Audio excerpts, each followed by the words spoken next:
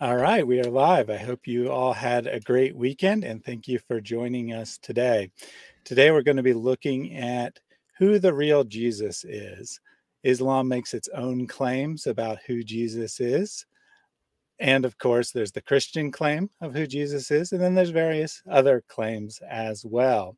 We're going to take a look at this from a couple different angles, theologically, historically, and so on.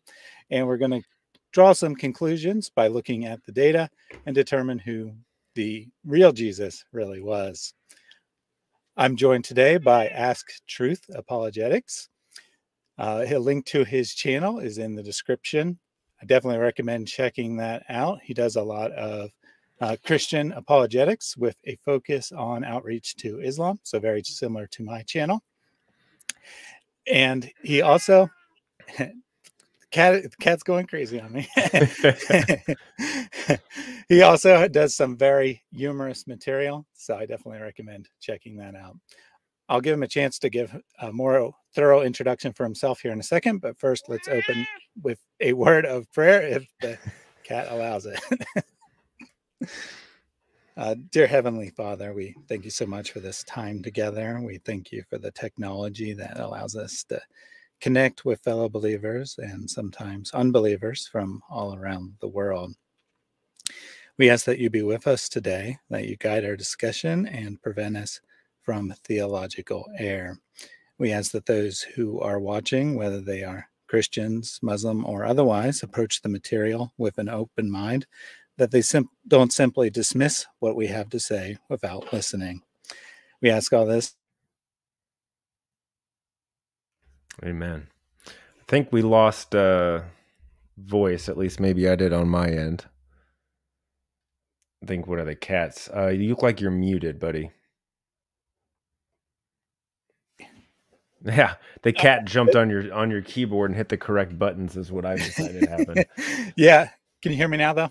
I can hear you loud and clear. I awesome. assume the audience can as well. So yeah, so the cat was going a little crazy there, and then he decided to leave. But I guess on his way out, he he bumped the the microphone and turned it off. But it's all good. We're back now. Uh, so why don't you go ahead and tell us a little about bit about what you do? Yeah, I'm going to keep it brief. People don't care that much. Uh, people know how YouTube works. Go to my go to the link, see if you like my stuff. If you do, like, subscribe, share, hit notifications, all those fun things. Uh, but really, at the end of the day, I'm just a guy who who loves Jesus.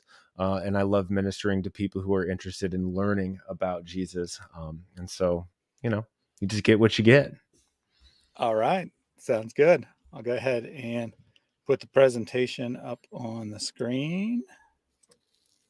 Perfect. So, um, just as a as a preface to everyone, I was supposed to be in charge of the presentation. I designed it and everything, but for whatever reason, uh, my browser won't let me share, so I had to uh, give it to Thaddeus here, and so he will be going through it. He has a very um, difficult task ahead. So, Thaddeus, I do apologize in advance for all of the hard work I'm going to force you to do.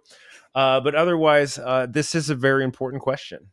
Um, and this actually is a, is a question that Jesus posed to his followers. And he asked them, you know, who do you say that I am. And there are a lot of different answers that we get this, right? Because as we all know, Jesus is literally the most famous person in the entire world. He is the most revered, and yet he is still also the most misunderstood person in the world. And almost nobody describes Jesus in the same exact way. We all kind of have a tendency of transforming Jesus and morphing him into our own image, into our own ideology and theology. So Christians have Jesus described in the New Testament. The Gnostics have Jesus described um, in their Gospels. Yeah, there you go. See, you got it, buddy. Um, the Jews have Jesus described in their commentaries. The Quran has Jesus described in their Hadith.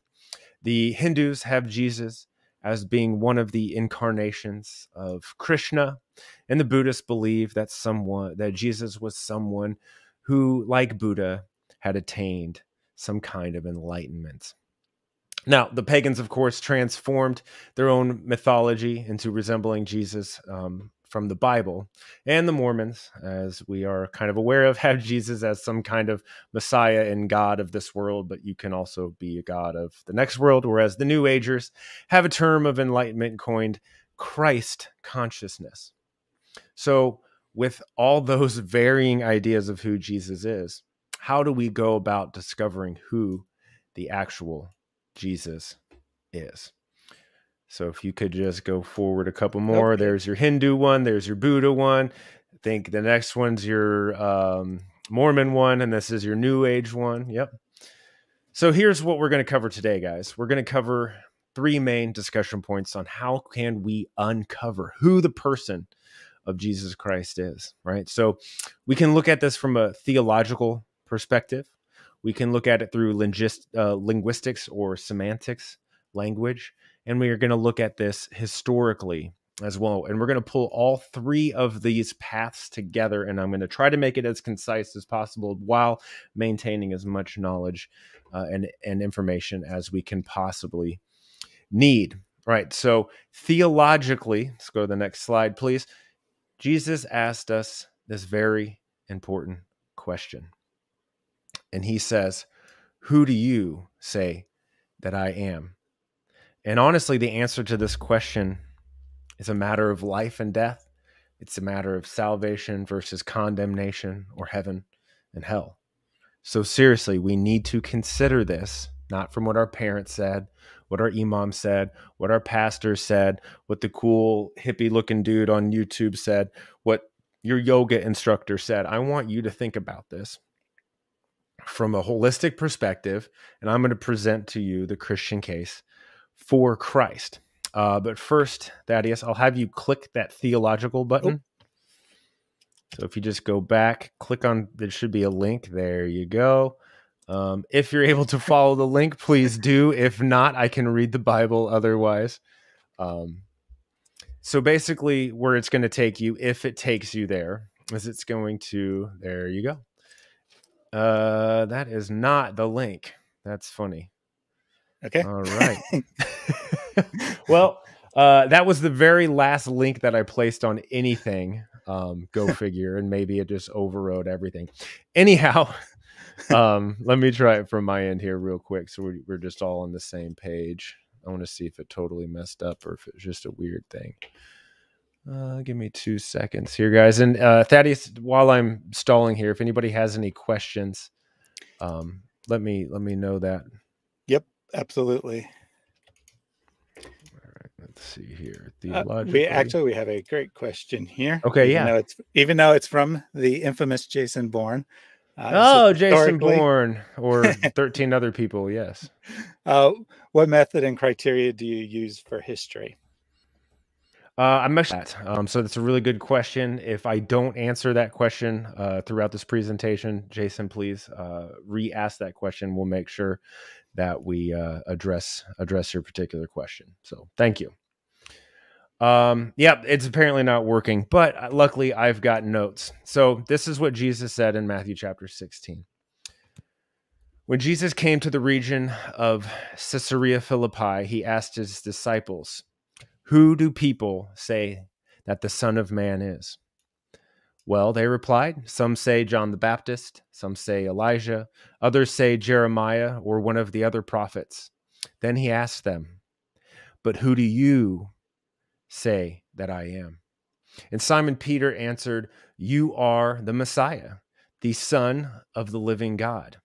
And Jesus replied, You are blessed, Simon, son of John, because my Father in heaven has revealed this to you.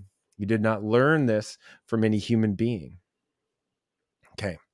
So that is essentially the Christian uh, theology of the outline of who Jesus is. So let's dive into the theology first because fulfilled prophecy is a powerful way of demonstrating the truthfulness of the Bible. Um, we're going to try these slides out. So uh, we're, we're going to look at Psalm 22, Isaiah 53, Isaiah 7, Isaiah 9, Micah 5, Zechariah 9. Well, it does Daniel appear 7. that these ones will work. Hey, sweet. Maybe I just made a stupid, stupid mistake here. all right. I do this from time to time. So, anyhow. Um, all right.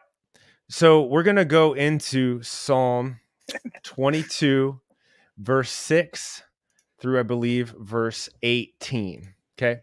And let me close one of these things out here. And then we're going to kind of exegete this just a little bit to show how, if you guys are aware of the life and teachings of Jesus, how Psalm 22 describes him prophetically, right? This was a psalm written by David, thousand years before the birth of Christ.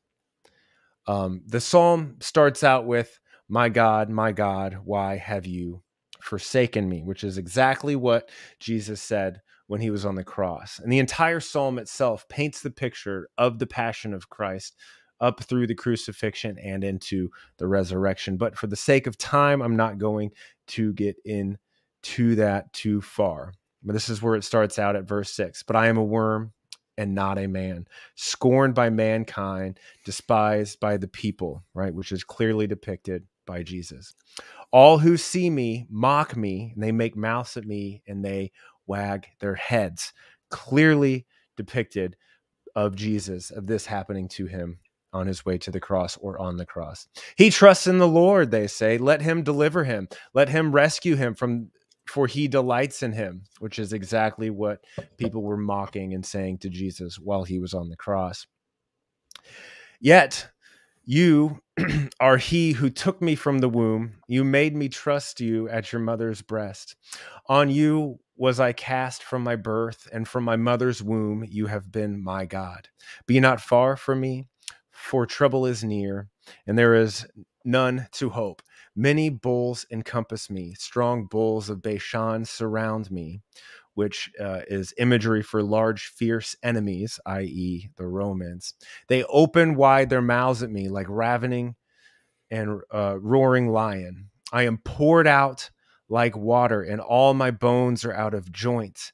My heart is like wax it is melted within my breast and i want to remind you guys of the crucifixion of jesus right so um in the gospel of john he his side is pierced and blood and water come out. I am poured out like water like blood okay? All of my bones are out of joint so when someone is being crucified their joints start to come out of place. And their heart is like wax again when he was pierced by the spear, that waxy substance, blood mixed with water, come out and was melted in his breast. Verse 15 My strength is dried up like a potsherd. My tongue sticks to my jaw, as Jesus says on the cross. I thirst. You lay me in the dust of death, for dogs encompass me, right? So dogs are non Israelites. A company of evildoers encircles me. They have pierced my hands and my feet. I can count all my bones again because he's hung up and displayed. They stare and gloat over me, which is clearly depicted in the Gospels. They divide my garments among them, and for my clothing, they cast lots, which is exactly what happened in the Gospels, right? So we're talking theologically, we're talking fulfilled prophecy here in Isaiah, or sorry, not Isaiah, but Psalm 22. Um, does he, do, Thaddeus, do you have anything you'd like to add to that? Yeah, I'd just add a, a couple words that um, you you can you can try this experiment. You you can mm-hmm. read this passage out to someone who is not necessarily a believer, but is at least familiar with who yeah. Jesus is, and ask them, you know, what am I am I reading here? And there's a good chance that they'll they'll guess that this is Jesus. Um, the second thing I would add is, you know, we're not going to get through the whole psalm, but definitely check that out it has it ends with a prophecy of mm-hmm. the death of this person somehow mm-hmm. bringing all the nations to know God, mm-hmm. to know uh, Yahweh from the Old Testament. Absolutely, no, for sure. And I, I've I'm going to be long winded here, guys, and I'm trying to make it as short as possible. But if if I were to go through every single fulfilled prophecy of Jesus, we'd be here for a few days going straight through it. So I just want to try to give you guys enough information to to get you excited about it and then to make you go do what you're supposed to do and read it and search the gospels and search the scriptures yourself. So hopefully you guys will continue to do that. All right, moving on to Isaiah 53. So that'll be the next tab. Maybe it'll come up, maybe it won't. Okay. So I, Isaiah 53 really starts in Isaiah 52, um, verse 12, and uh, it goes all the way through Isaiah 53. Again, I'm not going to read every single verse, but I'm gonna I'm gonna read quite a few of these verses here, starting with verse three. He was despised and rejected by men, a man of sorrows, as acquainted with grief, as one from whom men hid their faces. He was despised, and we esteemed him not. Surely he has borne our griefs and carried our sorrows. Yet we esteemed him stricken, smitten by God, and afflicted but he was pierced for our transgression. He was crushed for our iniquities, and upon him was the chastisement that brought us peace. And with his wounds we are healed. All we, like sheep, have gone astray. We have turned every one to his own way, and the Lord has laid on him the iniquity of us all.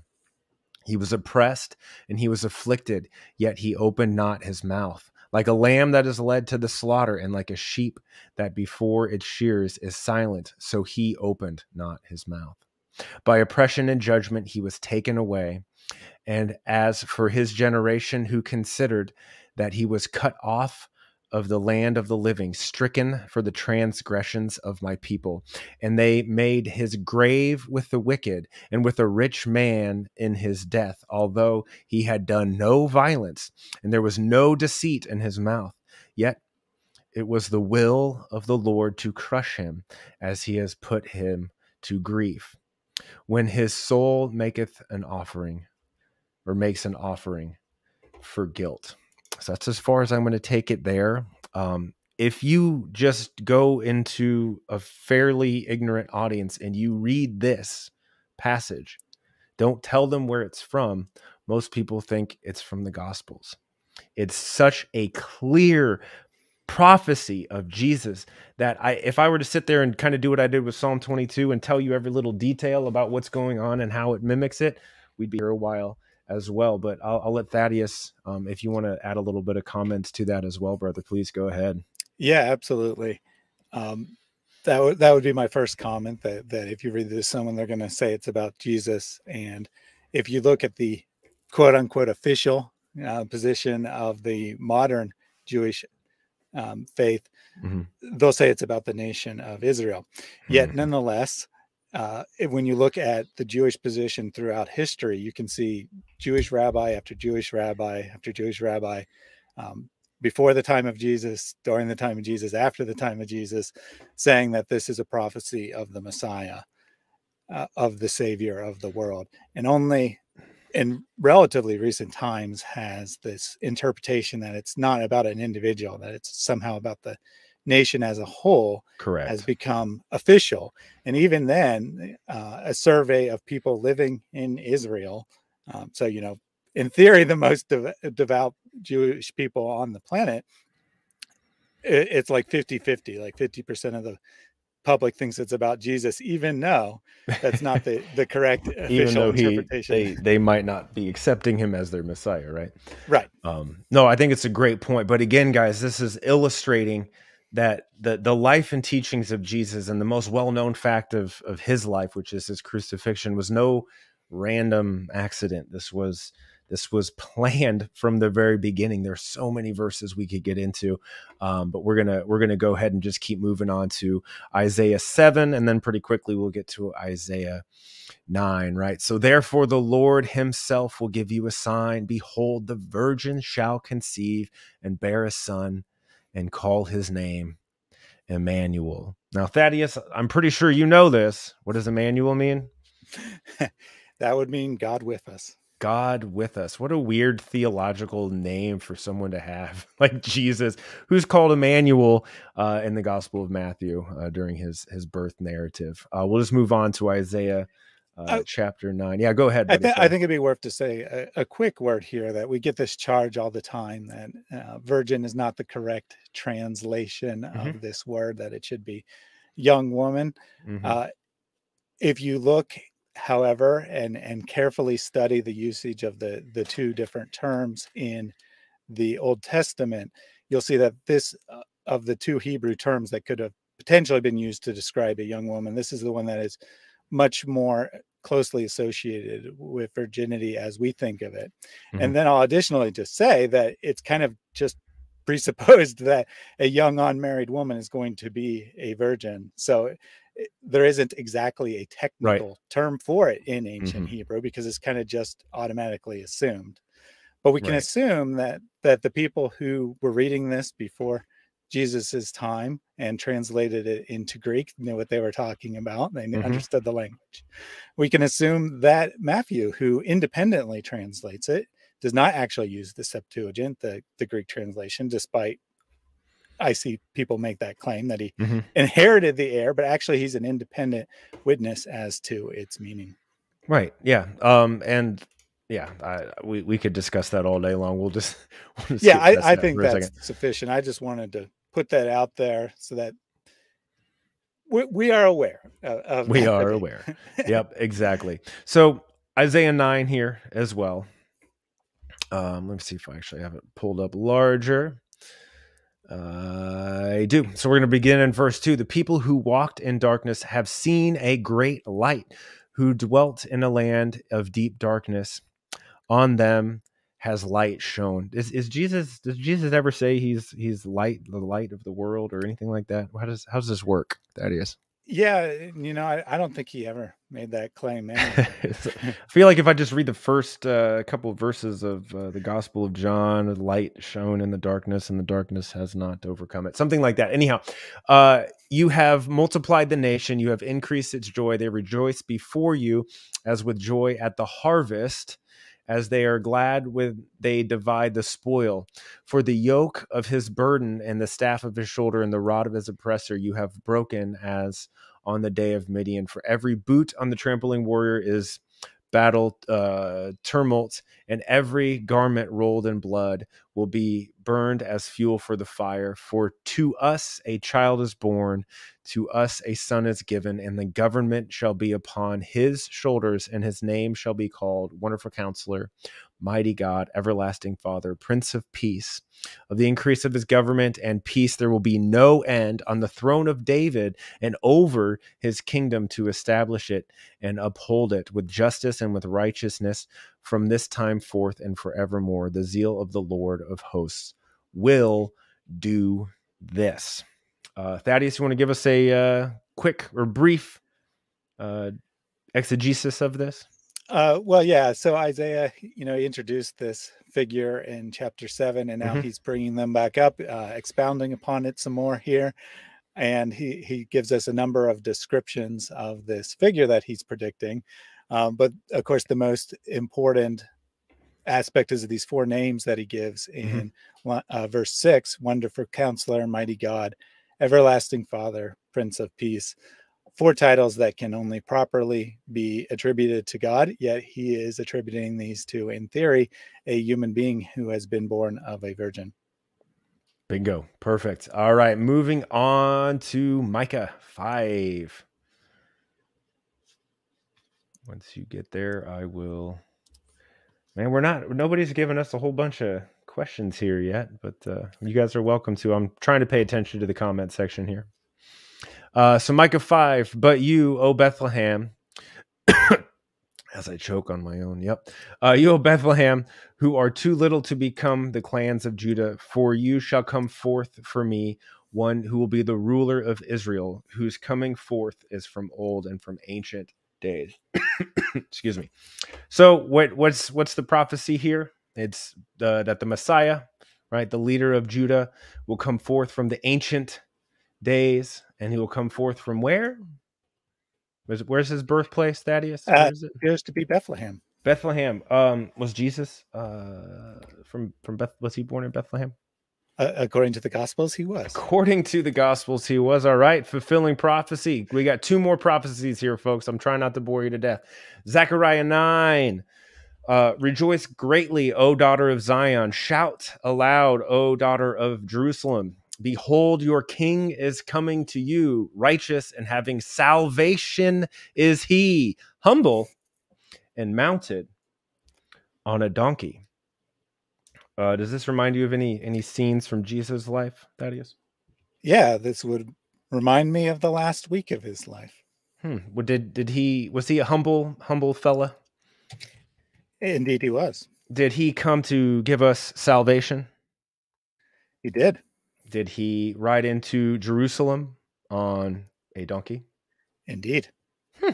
Okay. Uh, Daniel 7. Uh, uh, once we get this pulled up, if you don't already, I saw in the night visions, starting at verse 13, I saw in the night visions, and behold, with the clouds of heaven, there came one like the Son of Man. Now, Thaddeus, do you know how many times uh, Yahweh is called uh, the Cloud Rider? I don't have an exact number, but it's fairly frequent. It's like 70 something times. You know how many times uh, someone riding on the clouds is is not Yahweh? I'm I'm going to give zero.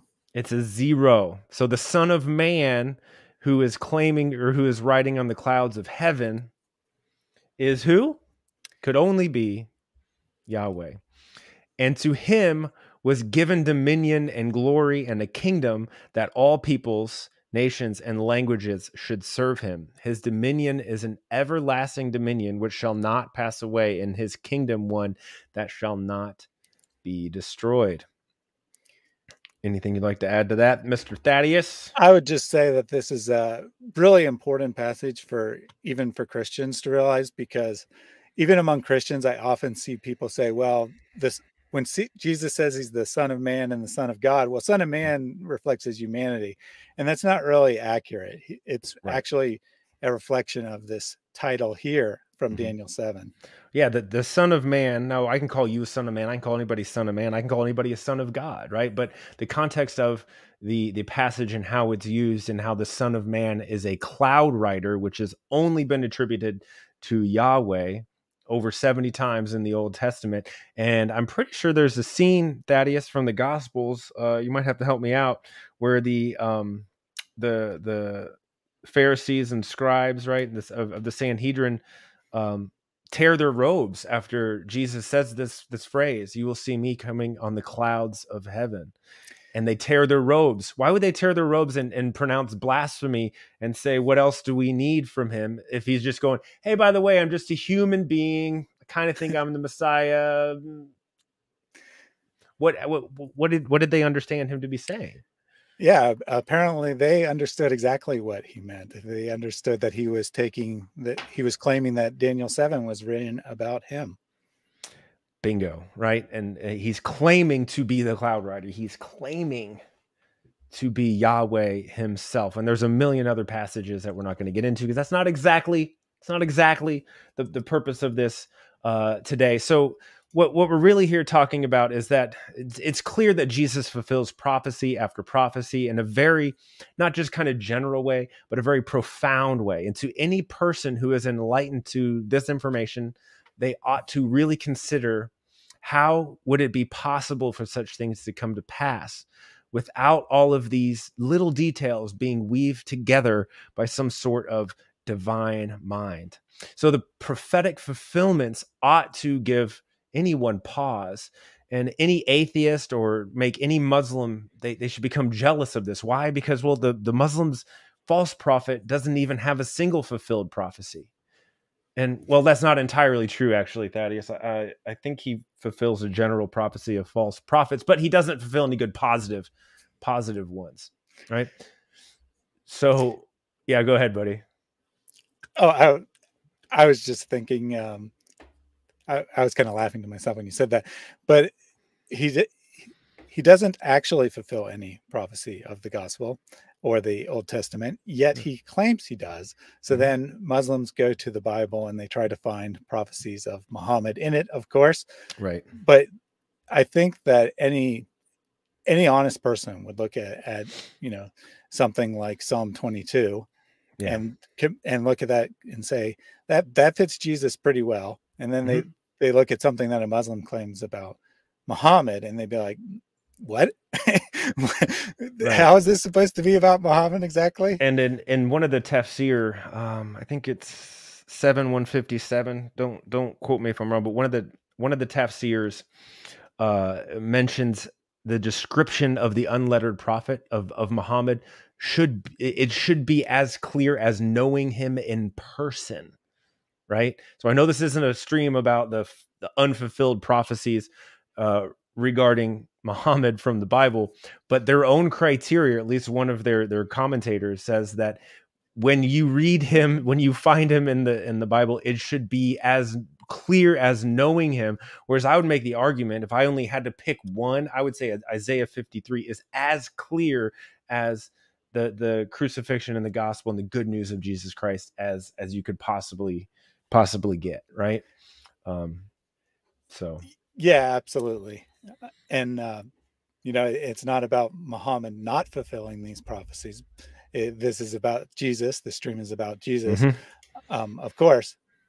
But if the Old Testament is saying these things about Jesus, and we can see that it's using language that can only properly be described right. as uh, God, and mm-hmm. then Jesus fulfills that in the New Testament, I guess there's basically two possibilities, or or maybe three. That two, one is that it, that this is legitimate good evidence that, that Jesus is in fact mm-hmm. God. Mm-hmm. Um, you could throw out the the Muslim hypothesis that originally the gospel said something completely different and the old testament said something completely different uh-huh. and then uh, it was corrupted and we have zero archaeological yep. evidence or anything of that which makes Allah absolutely either inept or malicious because he repeats over and over again that the gospel and Injil are his words. And then he clearly declares in surah 6 115 that no man can change Allah's words but the Muslims they like to deny what Allah says to them in their in their Quran. And guess what? Apparently that he did change his he, he did allow man to change his words, or he changed the words himself, making him either just evil or malicious, or the men did change it, but he just apparently didn't have the power to stop them from changing it. At any rate, my conclusion to this is the Quran clearly tells you that Allah cannot be God, but it's neither here nor there. Yeah, and it's funny because if you look at like the really early Muslim writings, they took the Quran seriously and they, they thought that the Christian scriptures would confirm them. They, that's right. how they, they went out. And, you know, when they tried to convert Christians, uh, they would, oh, like, yeah, your scriptures testify to Muhammad. What are you uh-huh. talking about? And then they eventually got a hold of them, pr- translated into Arabic in the ninth century or whatever.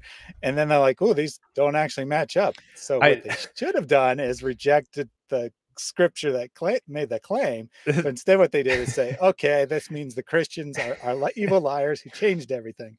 My, uh, I don't know why this just came to me, but this, this to me is almost like, um, are there any, if there's parents, if there's any children in within earshot, please cover their ears, especially if they're young. Um, I'm not going to say any bad words. I'm gonna I'm gonna ruin their childhood and talk about Santa Claus here for a second. So if anybody's got kids around, now's the time to Okay.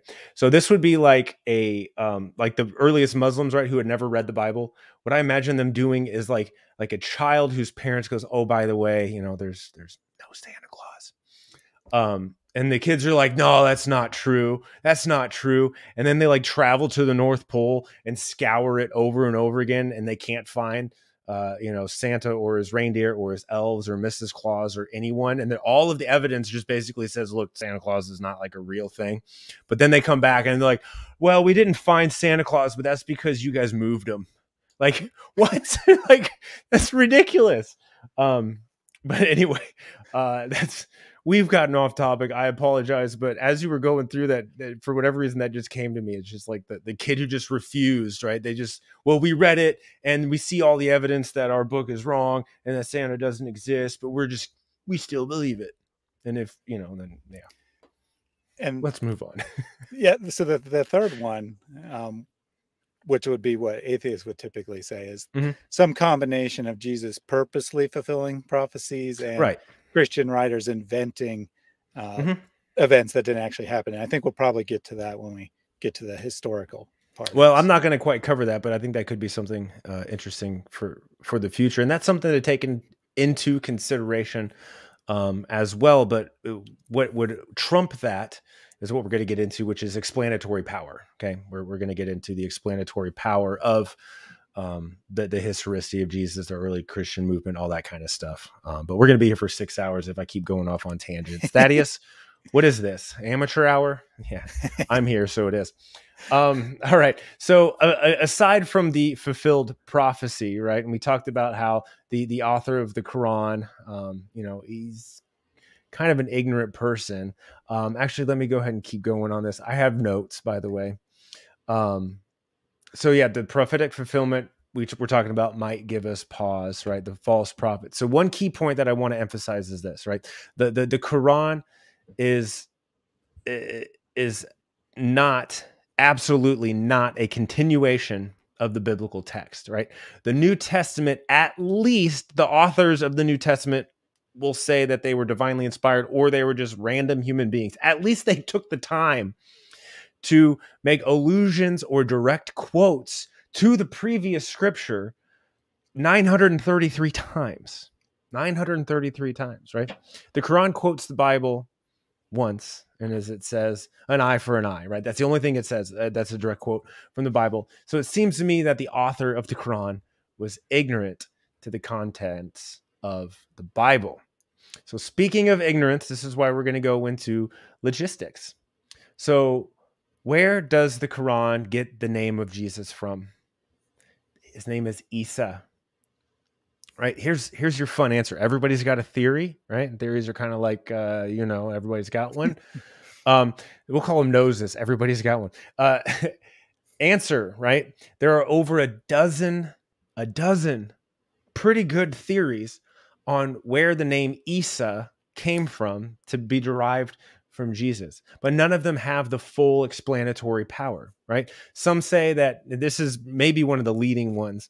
Some say that it's a transliteration from the Hebrew, right, Yeshua, to the Greek, Isus, and then from the Greek into the Aramaic, which is Isu, and then from the Aramaic to Arabic, which is Isa. Okay. If that's true, someone please explain to me how that could have come from God, right? And not just some ignorant man wandering around uh, 600 years after the fact going, uh, his name was Isa. Um, they just didn't know. Uh, my good buddy Jai Apologetics, uh, everyone should go check out his streams, like, subscribe, all that kind of fun stuff he has an entire live stream and and by the way he speaks uh he speaks uh, hebrew and arabic fluently um, and i think he's pretty good with greek too i don't want to overpromise and underdeliver here um, but he he knows the language really well and he's gone into the linguistics of where Isa came from. So go check out his channel and and you can find that it was like a 2-hour live stream. It was incredibly informative the whole time. So the bottom line is this the almighty Allah is kind of an idiot when it comes to linguistics. Um, and the good news is Allah seems to be only slightly more literate than the man who he sent uh, Jibril to choke slam in a cave. Speaking of good news, um, next slide here, please. The gospel. Oh, hold on. Um, we did have an alternate theory of, about uh, how Muhammad got the name Isa. Uh, apparently, he was a tad deaf in his right ear, so he just didn't hear it properly. I mean, honestly, that's we'll put that as number thirteen of the of the theories that could possibly work. So, yeah. Um, actually, no, sorry, go back, buddy. Um, so speaking of good news, Injil. Um, nowhere in Arabic does Injil have any meaning whatsoever. It's a completely nonsensical word. It doesn't mean anything, right? Uh, we know that the gospel means what? What does the gospel mean? Good news. Good news.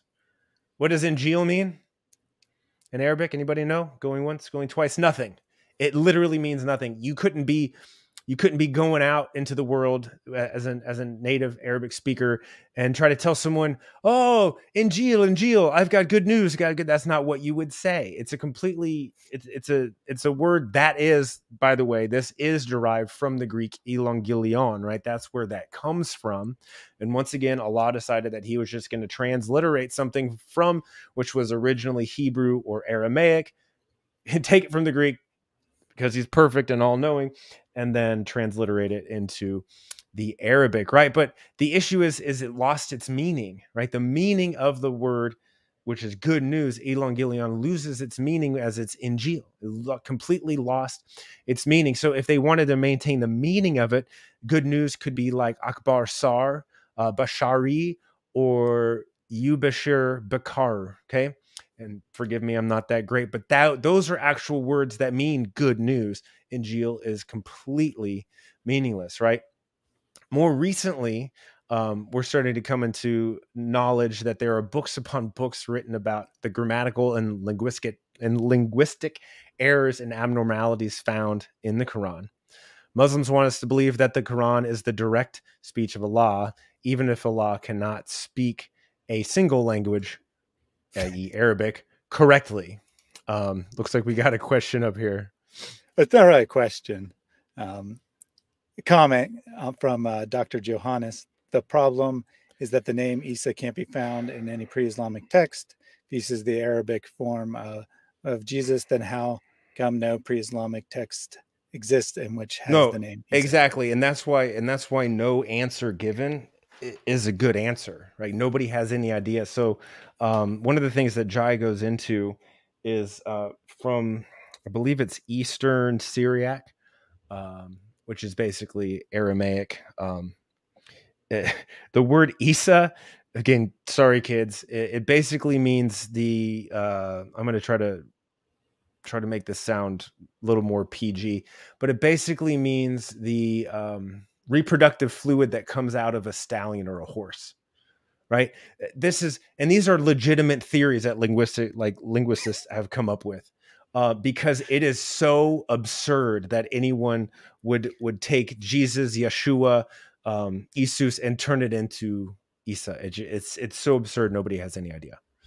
Um, but anyway, go go watch his video anyhow. So, well, yeah. Yeah. Ahead, getting buddy. back to Injil, uh, I have a question for you. How many? Uh-huh.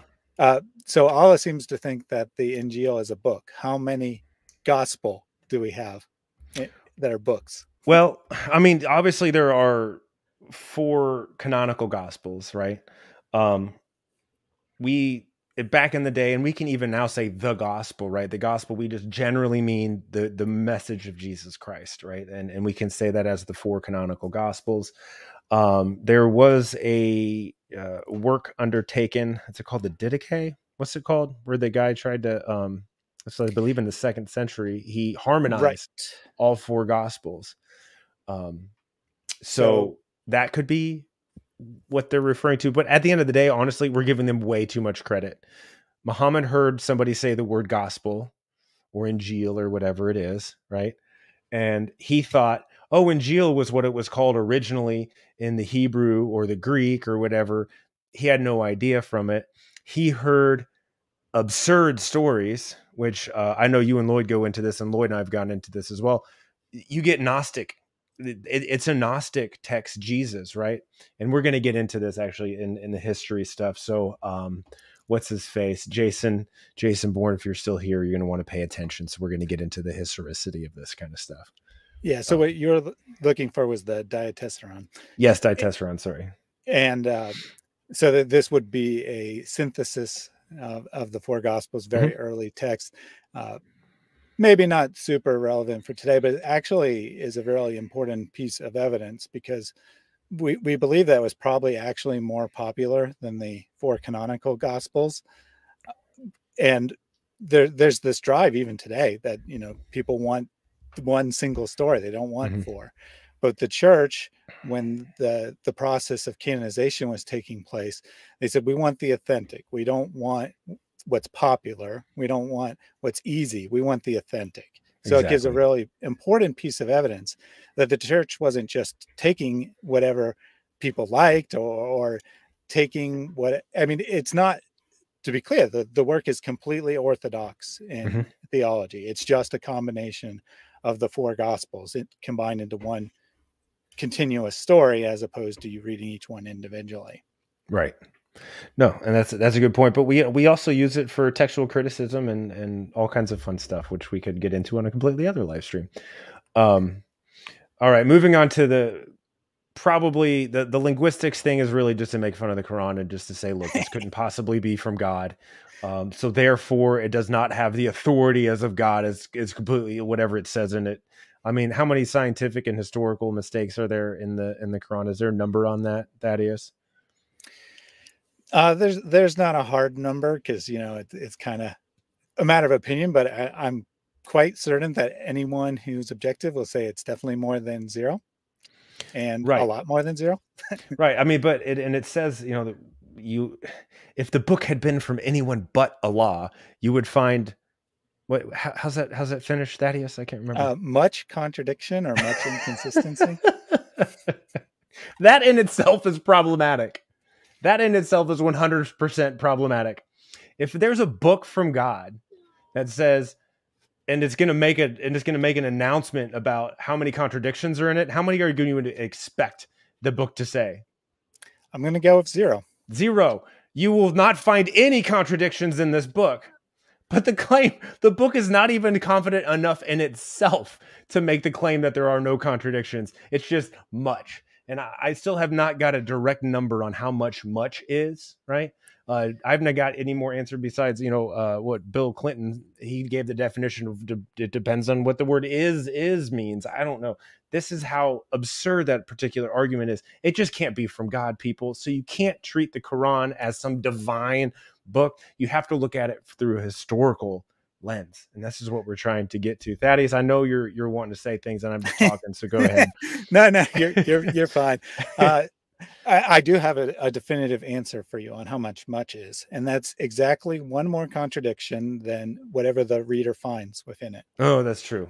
That's true. It is. It's. Uh, it's subjective. It's subjective. We use subjective and, and unfalsifiable claims. That's the most important thing about Islam, which we're going to get into falsifiability of claims and how important those are for historical um, critiques as well. All right, so let's talk history everybody's favorite imam bart ehrman although i think recently he's kind of destroyed the muslim claims and i don't think they like him as much as they once did. Um, but here's a quote from bart ehrman. One of the most certain facts of history is that jesus was crucified on orders of the roman prefect of judea pontius pilate.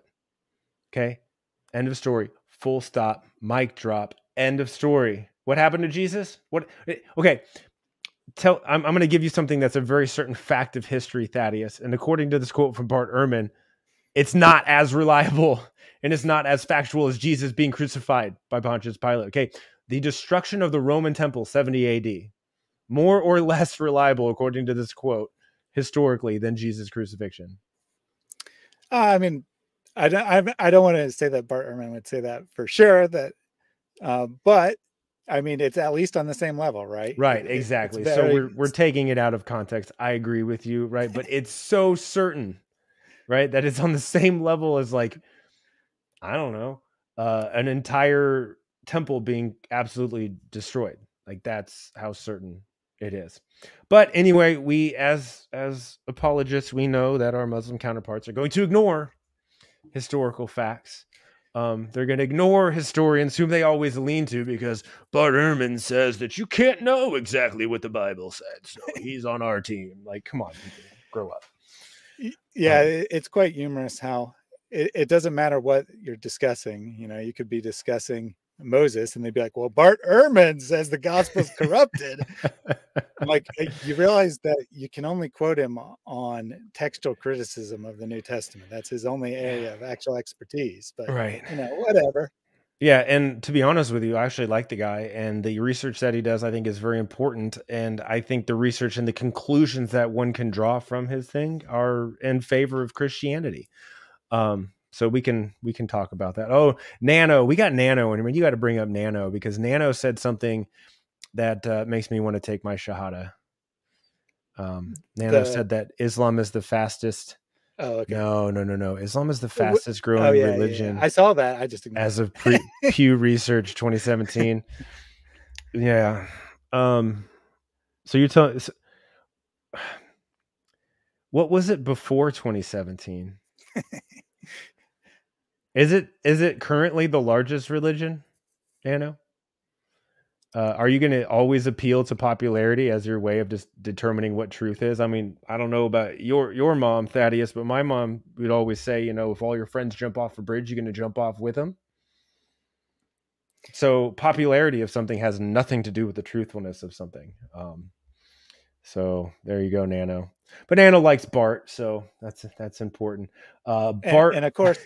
Of course, we all know that how you establish the truth of a particular position is mm-hmm. how many children you have, because that's how Islam is the fastest growing religion, have more children per family on average. Therefore, it grows faster. Therefore, it is more true. Yeah, and and the other interesting thing to to, to think about Nano is is Islam the fastest growing religion in let's say Iran? Or America or Russia, right? It's it's it's dependent upon which nation. So if it's if it's growing faster in one nation but like the second or third fastest in another nation, does that mean it's true in one place and false in another? I mean, pathetic. Anyhow, uh, let's move on to history stuff. One of the most certain facts about history is that Jesus was crucified under the orders of the Roman prefect Pontius Pilate. Okay, let's go how many wives helps. yeah, well, the more wives you have, the more children you can have. It's pretty much pretty much how that works. All righty, let me t- take a look at my notes here. Um, yeah, history in a nutshell. Let's let's move on. Let's move it uh, move it forward. See if I got this right. All right, so history in a nutshell. Uh, how does history work, guys? This is basically how history works. We have we need to look at early witness testimony.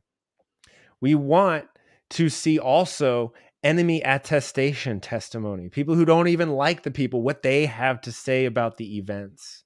We want to take a take a look at uh, not only early witness testimony, but how many different independent witnesses do we have for those testimonies? We also need to take into account the criteria of embarrassment. We need to take into consideration whether or not the uh, testimonies include falsifiable claims or verifiable claims. Basically, if I tell you that uh, the shirt was purple, you can tell me if the shirt's purple or blue or green or yellow, right? That's a falsifiable claim. But if I tell you that I saw a pink elephant flying across the sky, you can't falsify that information, right? You can go, well, it's I've never seen that happen, but you can't falsify it, right? So it's important when we look at history to see if those eyewitnesses, those early witness attestations that are independent, are making falsifiable claims. And then we can check on their claims to see if their claims are true or false. Okay. And then last and not least, we need to take uh, we need to take into consideration explanatory power. Does the eyewitness testimony and the the narrative essentially explain perfectly all of the different criterias and events that has gone on. Um, anything you want to make comments on that, Thaddeus? Uh, I think I'll just come. Are you going to go through each one? Uh, kind of, yes. That they're all going to be hit on. I don't necessarily hit on them uh, directly, but yes. Okay, well, I'll just make a, a quick comment then off, off the top that of these you know, these are all criteria we can use to help judge whether a, a work is reliable. Um, obviously, the claims have to be falsifiable. That that's just a given. You you can't right make judgment about claims that aren't falsifiable. But mm-hmm. other than that, the the most important are probably explanatory power mm-hmm. and uh, multiple witnesses, independent, yeah. multiple independent witnesses, because people tend to think that history is mostly based on archaeology, and that's mm-hmm. not at all true. Right. Uh, history is almost entirely based on written documents. So how do you know if a author, and I'm talking secular history here, how do you mm-hmm. know if an author is reliable? Well, you might be able to confirm something, very basic facts like there was this building from archaeology, but for the most part, you need some you you have to judge whether the author knows what they're talking about. And how do you do that? Well, if two independent authors both say the same but not identical thing because if mm-hmm. they say identical then one just copied from the other exactly but, but, they they say similar things that enhances not only the reliability of the first source but the second as well so 2 mm-hmm. authors say the same thing it enhances the reliability of both sources and then then when the you know author a says some things that aren't confirmed by anyone else you can have reasonable confidence that those are true. That it, it's not that you need multiple attestation of everything. This is how you judge the author, how you judge the author's credibility Mhm. by what you can test, which mostly means against other documents. No, but yes, exactly. um, and the other thing that I don't really go into too much is the criteria of embarrassment. Um, I can I can elaborate on that now, or if that is, if you want to talk about how important that is too. Uh, you can elaborate on it. Okay, so the criteria of embarrassment is is basically if if I'm best friends with someone and I genuinely like them, right? Um, and I'm gonna fabricate or sorry, I'm just gonna tell a truthful story about them. Am I more or less likely to remove embarrassing facts about that person? Right? I'm probably going to remove embarrassing facts about them, right? But if I include that embarrassing fact and I love that person, then it's a really there's really no motive for me to just make up some embarrassing fact about someone who I love and I'm trying to promote, right? So it's really important to, to take into consideration the criteria of embarrassment. Make sense? All right, let's let's move on. All right. Let's do that. All right. Early, and by the way, when I say early, I mean within the first 100 years, or really 70 years of the crucifixion of Jesus. Early, independent witnesses from the first century. Okay. So we got Matthew, the author of Matthew, Mark, Luke, John. We have enemy attestation, Tacitus, Josephus, Celsus, right? We've just got general independent, Mara bar Serapion, Pliny the Younger. Uh, again, back to friendly. We've got Paul. We've got whoever the author of Hebrews is. And if it's Paul, we'll just roll it up in Paul. If it's not, then we'll just call it an independent one. And Peter. All of these talk about the uh, life, and particularly I'm focused for this one fact or the historical fact on the crucifixion because that's the biggest difference. That's the most falsifiable claim that that uh, we can we can argue about between the Quran, what the Quran says about Jesus, and what the Bible says about Jesus. I'm not I'm not counting here, but that's what 1, 2, 3, 4, 5, 6, 7, 8, 9, 10, 11, 12, 13. 12 to 13, depending upon what we do with Hebrews, independent attestations, including two to three. I don't think Celsus, Celsus liked Christians much. Three enemy attestations. They all said the same thing, Thaddeus. They all said Jesus was crucified. Indeed. Hmm. And, you know, the, this is actually a, a, very embarrassing fact, actually. Uh, because if he is claiming to be the Messiah, if he's claiming to be a prophet, and then he's put to death in the most humiliating way, uh, the crucifixion was so disliked uh, among the Roman people, so debased the person who did it, or who was crucified, I mean, that they often, most often, would not even refer to the word crucifixion. They, right. they would use a, a metaphor or a right. euphemism to get around it because that's how humiliating it is to be crucified. This is what basically the Romans invented the process to dehumanize the victim of it. Mm-hmm. Yeah, no, absolutely right. So you're again, we're we're talking about the criteria of embarrassment. Why would someone just make this up? Um, yeah, we can we can move on to the next one, buddy. All right, later witnesses. Right, what does the Quran use? Well, later witnesses. So we don't start to see the development or even the introduction or even the hint of Gnostic texts until the second century, typically the mid part of the second century. So over a hundred years after the death of Jesus. Were any of those people who start to write these? I'm not a mathematician. I don't know how long people lived, but were any of those people who wrote them eyewitnesses to the crucifixion? No, they they sometimes took the name of eyewitnesses, but no one believes that they that there's attributed right. names. Yeah, like the Gnostic apocalypse of Peter from like what 275 AD, because Peter apparently was not um, killed in 62 or 64 AD. He lived another, you know, 150 years um, before before writing the Gnostic apocalypse of, of Peter. So automatically, when you say like the the Gnostic, uh, the, the infancy gospel of Thomas or uh, the gospel of James or whatever, like, and and the authors are clearly were not alive at the time that this book was penned. You can kind of go ahead and say, well, this is this is a forgery, right? This is not true.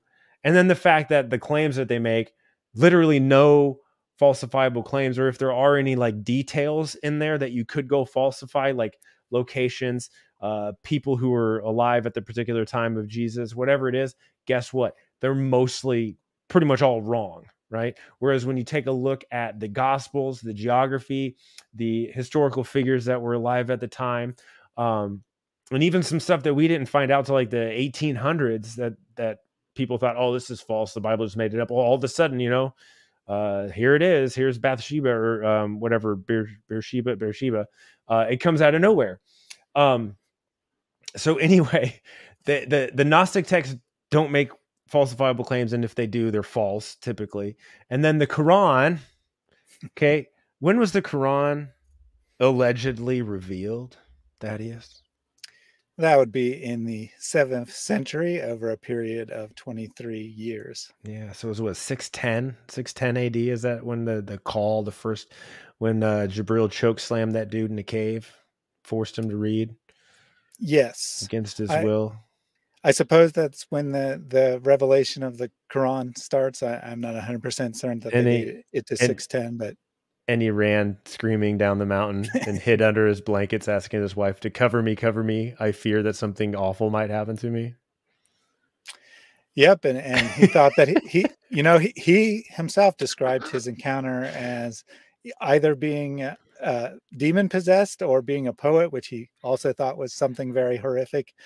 So his initial opinion of his own revelation was that it was something horrible, and I think he was right on that one, at least. Yeah, I think his first impression was absolutely correct. He went from, uh, from what I recall, based on the stories, assuming that they're true, he was like a stand-up guy, like the most truthful man that ever lived. And he married this like older woman and kind of, you know, helped her run her affairs and stayed married to just one wife. He was monogamous. Like, what a nice guy right? What a super nice guy. And then after he has this encounter where he's, you know, choke slammed in a cave, um, does he does he remain a nice guy? No, I, I, I don't think so. Not by any any standards we'd use today. Uh, it should be pointed out that these facts, such as Muhammad uh, torturing a man who who wouldn't reveal the location of his treasure, were not necessarily embarrassing at, at the time. Yeah. Uh, Muhammad marrying a six year old girl, not necessarily embarrassing at the time. So we can't necessarily say that they're, they're true. Yeah. Um, we have to come to our own judgment on that. We can't just say that uh, all these events really happened. Mm-hmm. But the, the point being, if we if we assume they're true, and Muslims certainly believe they're true, mm-hmm. then no, he was uh, changed for the worse by his encounter. Yeah, no, hundred percent. So, um, yeah, I think that's all I have to say about the Quran coming 600 years later. Uh, oh, by the way, by the way, all the authors of the Bible and um, even the non-authors of the Bible that were on the on the slide before, um, not only were they first century witnesses when eyewitnesses were still alive, and if they made up a lie, eyewitnesses could counter whatever it was that they said. Um, they also, it's weird, I know but they were from the location geographically of the life and teachings of Jesus. Um, that should be noted because the Quran comes over 600 years later and uh, over a thousand kilometers away. Um, so you can't look at the Quran as a historical text about the life and teachings of Jesus. And a lot of the previous statements I've made, I know I'm kind of being mocking a little bit, uh, but everything I've said is is true based on what um, the most authentic Islamic sources say. Um, it, this book can't be from God. It can't be from God. So then you have then it forces you to just read it from a historical perspective, and no one ever would read this book for historical like oh i wonder what happened to jesus. Uh let me let me read it in a book that calls him isa and we can't figure out where that linguistically came from at all. It's a complete mystery. Um and all of its stories about jesus remind us of gnostic texts that come from you know a hundred plus years after jesus. Um you know let's let's nobody's going to do that. Nobody's going to go to the quran and go, yeah, this is the greatest historical text on the life and teachings of a Jewish man living 600 years earlier, a thousand kilometers north. It's preposterous. yeah, there's a for the last hundred years or so, they've been these movements in scholarship called historical Jesus studies, where they supposedly try to uncover the real historical mm-hmm. Jesus mm-hmm. that stripped of all the theology of the the New Testament and whatnot. But uh, to the best of your knowledge, has any one of those efforts ever even remotely considered the Quran as a historical source? yeah, actually, no, I'm kidding. No one has ever cited the Quran like, oh, well, the Quran says as a historical textual data that uh, no, nobody, nobody would ever ever look to that. No historian would ever look to that. And by the way, it it the, the Quran makes exactly zero falsifiable claims about Jesus. Can't falsify virgin birth, right? Can't falsify bringing a, a, dove to life or whatever, right? Can't like every single thing it says you can't falsify. Like not one thing about the life. It doesn't say like where he was, where what when he was, who he like who he talked, like nothing. Right? The only thing they have is his mother and him and no no falsifiable or verifiable information whatsoever about it. I'm not a genius, but I can tell you right away that that's a made up story. Just gonna just gonna throw it out there because if I'm lying about something, I'm gonna give you information you can't falsify. And the Quran, well, it does a really good job at that, not just with Jesus, but with pretty much everything, pretty much everything else. And I did also want to briefly touch on the the Gnostic texts here. Mm-hmm. One interesting piece of evidence that the the Gnostic texts provide is that they very rarely cover the same events of the New Testament. That they often cover the the youth of of Jesus. They often cover uh, events that that are not described in the Gospels, and they take a different picture entirely of the um, crucifixion and resurrection. And the reason, and this is important, is well, they're not touching on the thing that you'd think they would be touching on. Mm-hmm. And that's because these texts realize that that is already accepted. That's yeah. already accepted canon of scripture. Mm-hmm. And therefore, if they want to get their own ideas in there, they have to come up with, oh, well, you didn't know this about Jesus. You didn't know about right. what he did as a kid. Mm-hmm. Um, so that they take other events that are not described in the, in the Gospels, mm-hmm. and they talk about those, uh, especially the youth of Jesus, because you know, other than one or two isolated stories, it's basically Jesus was born, and then he, uh, John appeared baptizing people, and Jesus started his public ministry. Right. So they fill in that gap because they mm-hmm. are no they the authors of those texts basically know that people already have good information about all the the rest of Jesus's life, so they can't write about that. People instantly know that it's fake. So even though um, the the Gnostic texts are, are worthless for direct history, mm-hmm. they're very useful for understanding what the theology of the church was, what the canon of Scripture was, mm-hmm. what um, what people who did not want to be part of the church attacked, uh, right. that kind of thing. So when you hear these people say, well, the church just arbitrarily picks some texts and that's why we have these and those other ones were thrown out, but they're just as good. They're just as valid. They just had a different interpretation of events and we don't know which one's correct. Could be either one. Uh, that's total nonsense. And mm-hmm. no atheist secular scholar who is trying to learn information about Jesus would go to these Gnostic texts and say, well, these are pretty much equally valid. I got to just decide which one's the correct one, um, right? Um, because they're they're they're written later, but not only are they written later, they they basically uh, betray the fact that the God, the canonical gospels are already well known and accepted. Mm-hmm. No, it's true. And um, one other thing I wanted to to, to mention was uh, we were talking about the criteria of embarrassment, right? And I mentioned that if I was trying to like tell a story about my friend, I would probably leave out or change certain things that would be embarrassing to him when I'm telling you the story. What does the Quran do with Jesus, right? Because we just said the earliest, and even the Gnostic texts, they're like, oh, well, Jesus was crucified, but it was like not really, you know. And then the Quran goes on to say that um, what they're trying to do is they're trying to take away the embarrassment, right? Which is a clear indication um, that that they're making it up right? Why would the earliest eyewitnesses put this in, and then later people who have no nobody that was an eyewitness to correct them just make these things up? Well, it's because they don't they don't understand the importance of the story, and then they don't like it because they feel like it's embarrassing, and so they just they just change it. Definitely. Um, right, right. Uh, Hello Kitty, by the way. we we have Tom joining us today. He's up, uh, been very rambunctious. He was trying to he was trying to bite me earlier, but you you kept your face super stoic though, man. You're just like it's all good. You're allowed to yell if he latches on, just so you know. all right, uh, check out to the next on, slide. Yeah. Yep, go ahead. All right. All right. So here here's basically the Quran's claim about the crucifixion. Um, so Quran 4 157. And by, by the way, you're supposed to assume that this is the actual words of God.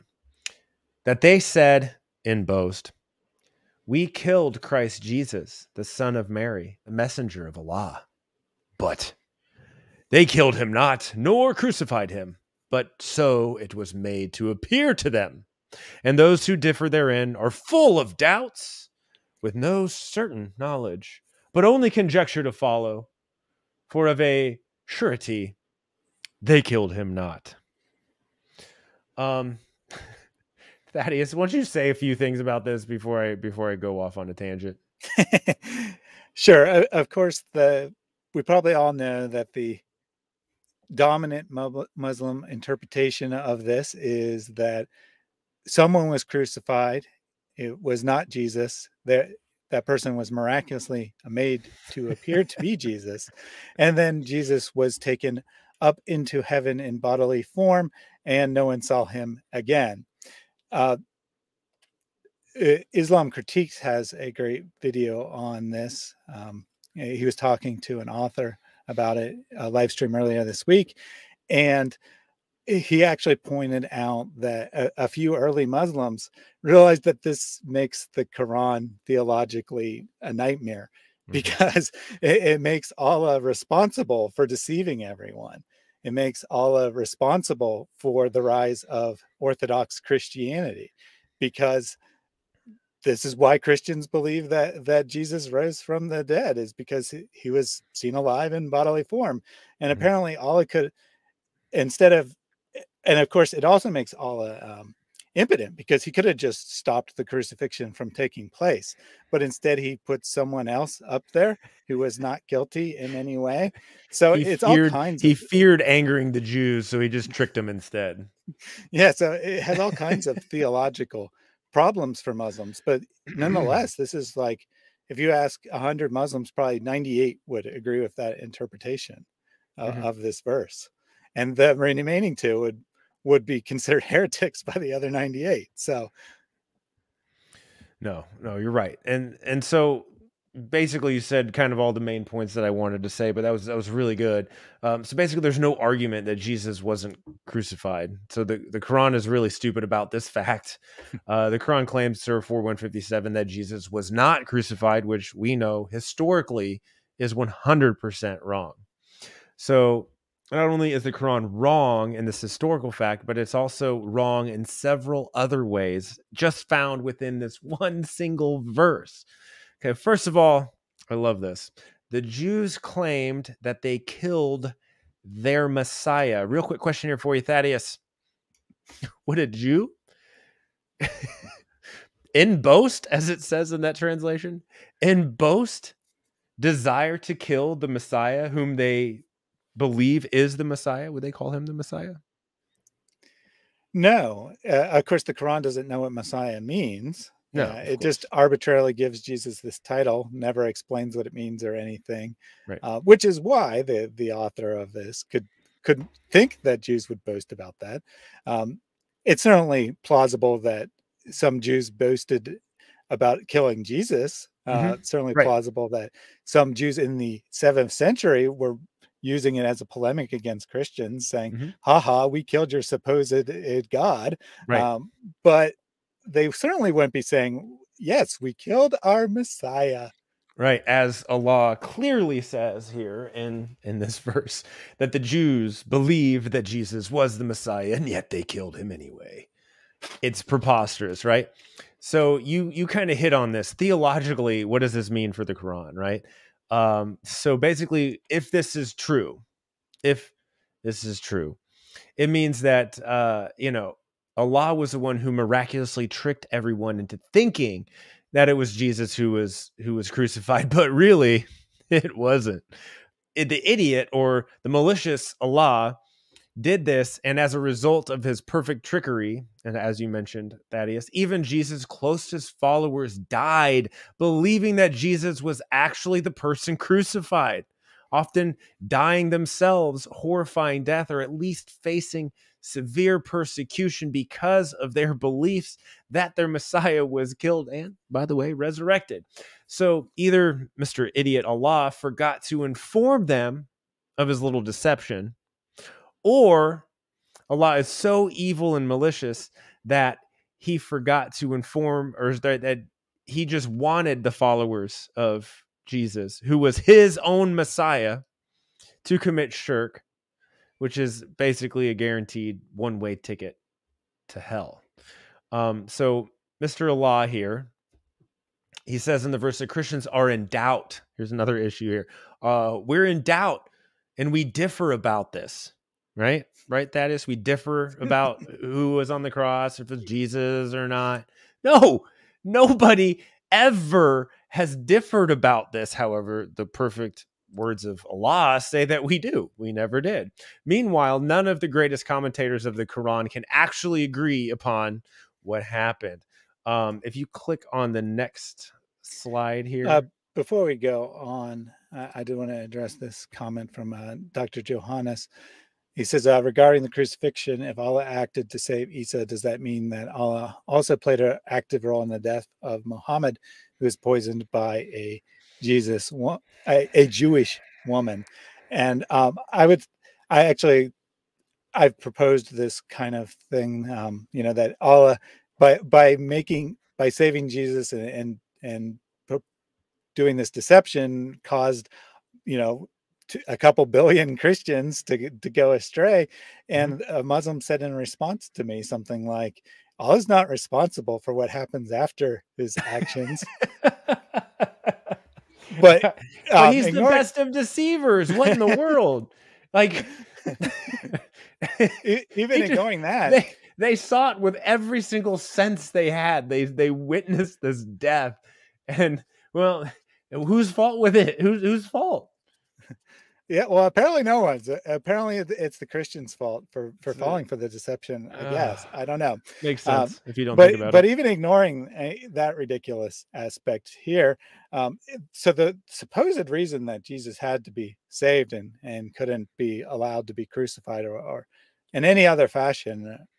Um, other than just being taken up into heaven right away, um, was because he was so amazingly holy and, and such a perfect messenger and and all that. But Muhammad died a painful death by his own description, uh, a humiliating death, even because he was pe- poisoned by an enemy. You don't understand, though, buddy. That was a martyrdom. he was martyred. Jesus was not martyred because he was rescued, because that's embarrassing. But you know, he was martyred. Muhammad. Okay. There you go. Just go. as long as we got that cleared up. We're clear. don't don't bring logic into this, KC. Come on, this is this is ridiculous. Go ahead and click on that little link there that says Tafsirs. Hopefully the link works. Um, and you can just kind of scroll through it. I'm just going to kind of briefly briefly talk about it, right? So this is this is the commentaries on on the verse where it claims that Jesus was not crucified. So uh, you'll see that Ibn Abbas basically makes the claim that it was Tatianos they give a name. Tatianos was the one who was crucified. Uh, Lane is going to say something along the lines of it being Sergius was the person who was crucified in, in, in instead of Jesus. Uh, Kathir has his own little thing. One of the followers of Jesus stood up three times and said, I want to do it. I want to do it. And then Jesus was like, No, you can't be crucified instead of me or whatever. And then finally he let him do it. So the, uh, one of Jesus' followers was crucified instead of him, according to him. And guys, keep in mind, by the way, that um, it's according to Allah, it's the Christians who are in doubt we are we are in doubt about this. We differ. We differ. Sergius, Tatianos, some random kid that stood up three times. Uh, there's another one. I can't remember who else said it. Uh, Nathanios was one of them. There's maybe someone named Nathanios who was crucified. Uh, later commentators are going to say, well, actually, it was uh, uh, Jesus' betrayer. It was uh, Judas uh, uh, who was who was betrayed, and then he was he was really crucified. Or maybe it was Simon of Cyrene, the guy who like helped Jesus carry his cross. Maybe they just got confused. The the Roman executors got confused and crucified the wrong guy. Um, I mean, how wrong can one single verse be? How absolutely wrong can it be? Right? They say that we differ.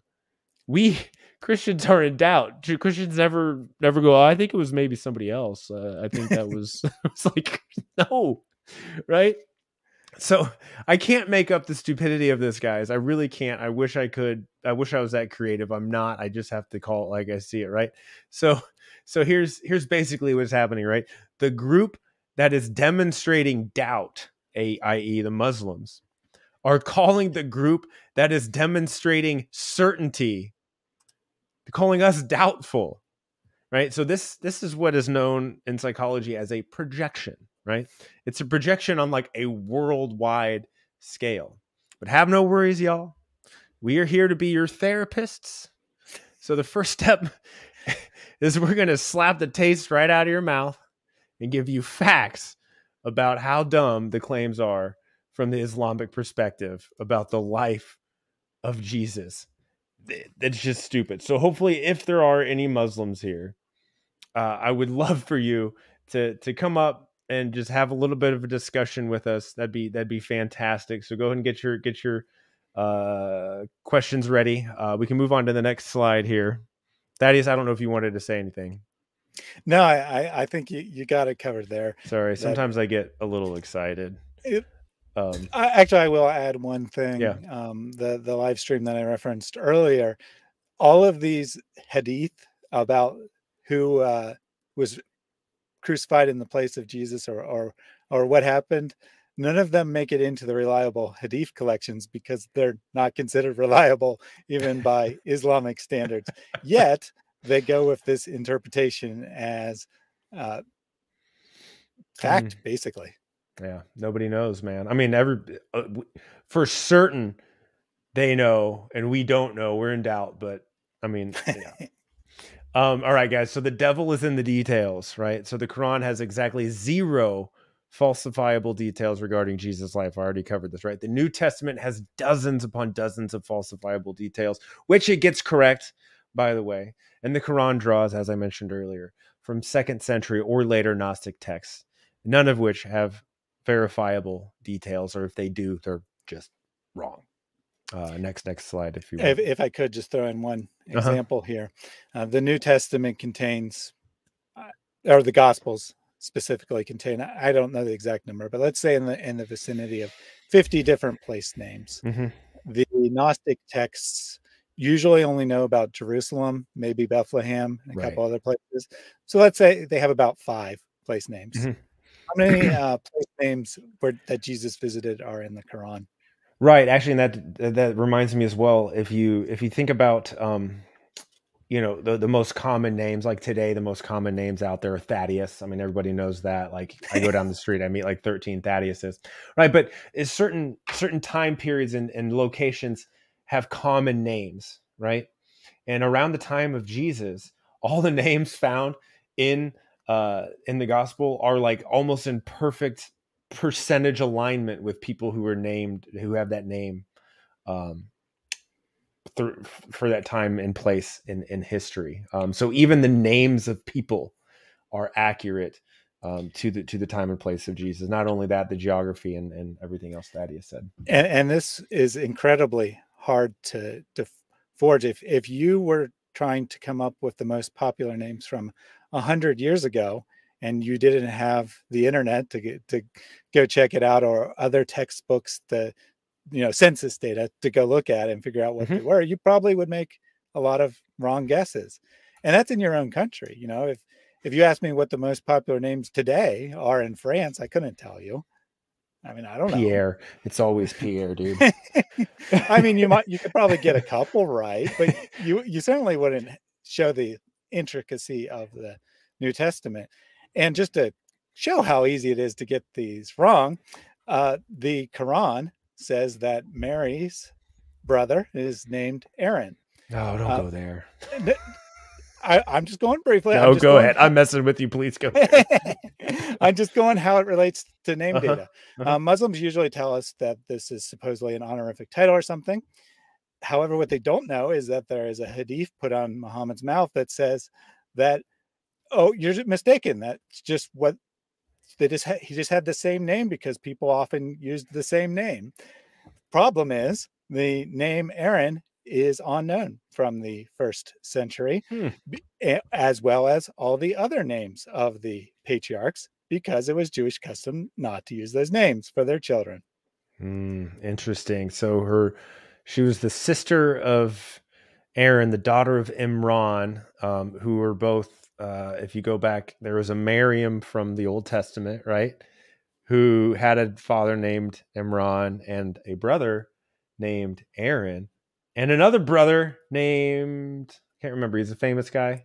Yeah, I think it was Muhammad. No, no, no. It's an M word though. You're getting close. Oh, Moses. Moses. Okay. Moses. So one of the arguments I've heard Muslims make on this is well, it's just a reference to like the famous family member. So first and foremost, right? Uh Aaron, right? Is uh what do you, did you do you know what tribe he's from? Not offhand. Levi, right? Because he was Yes. a priest. Yes. So the tribe of Levi. And the Messiah comes from which tribe?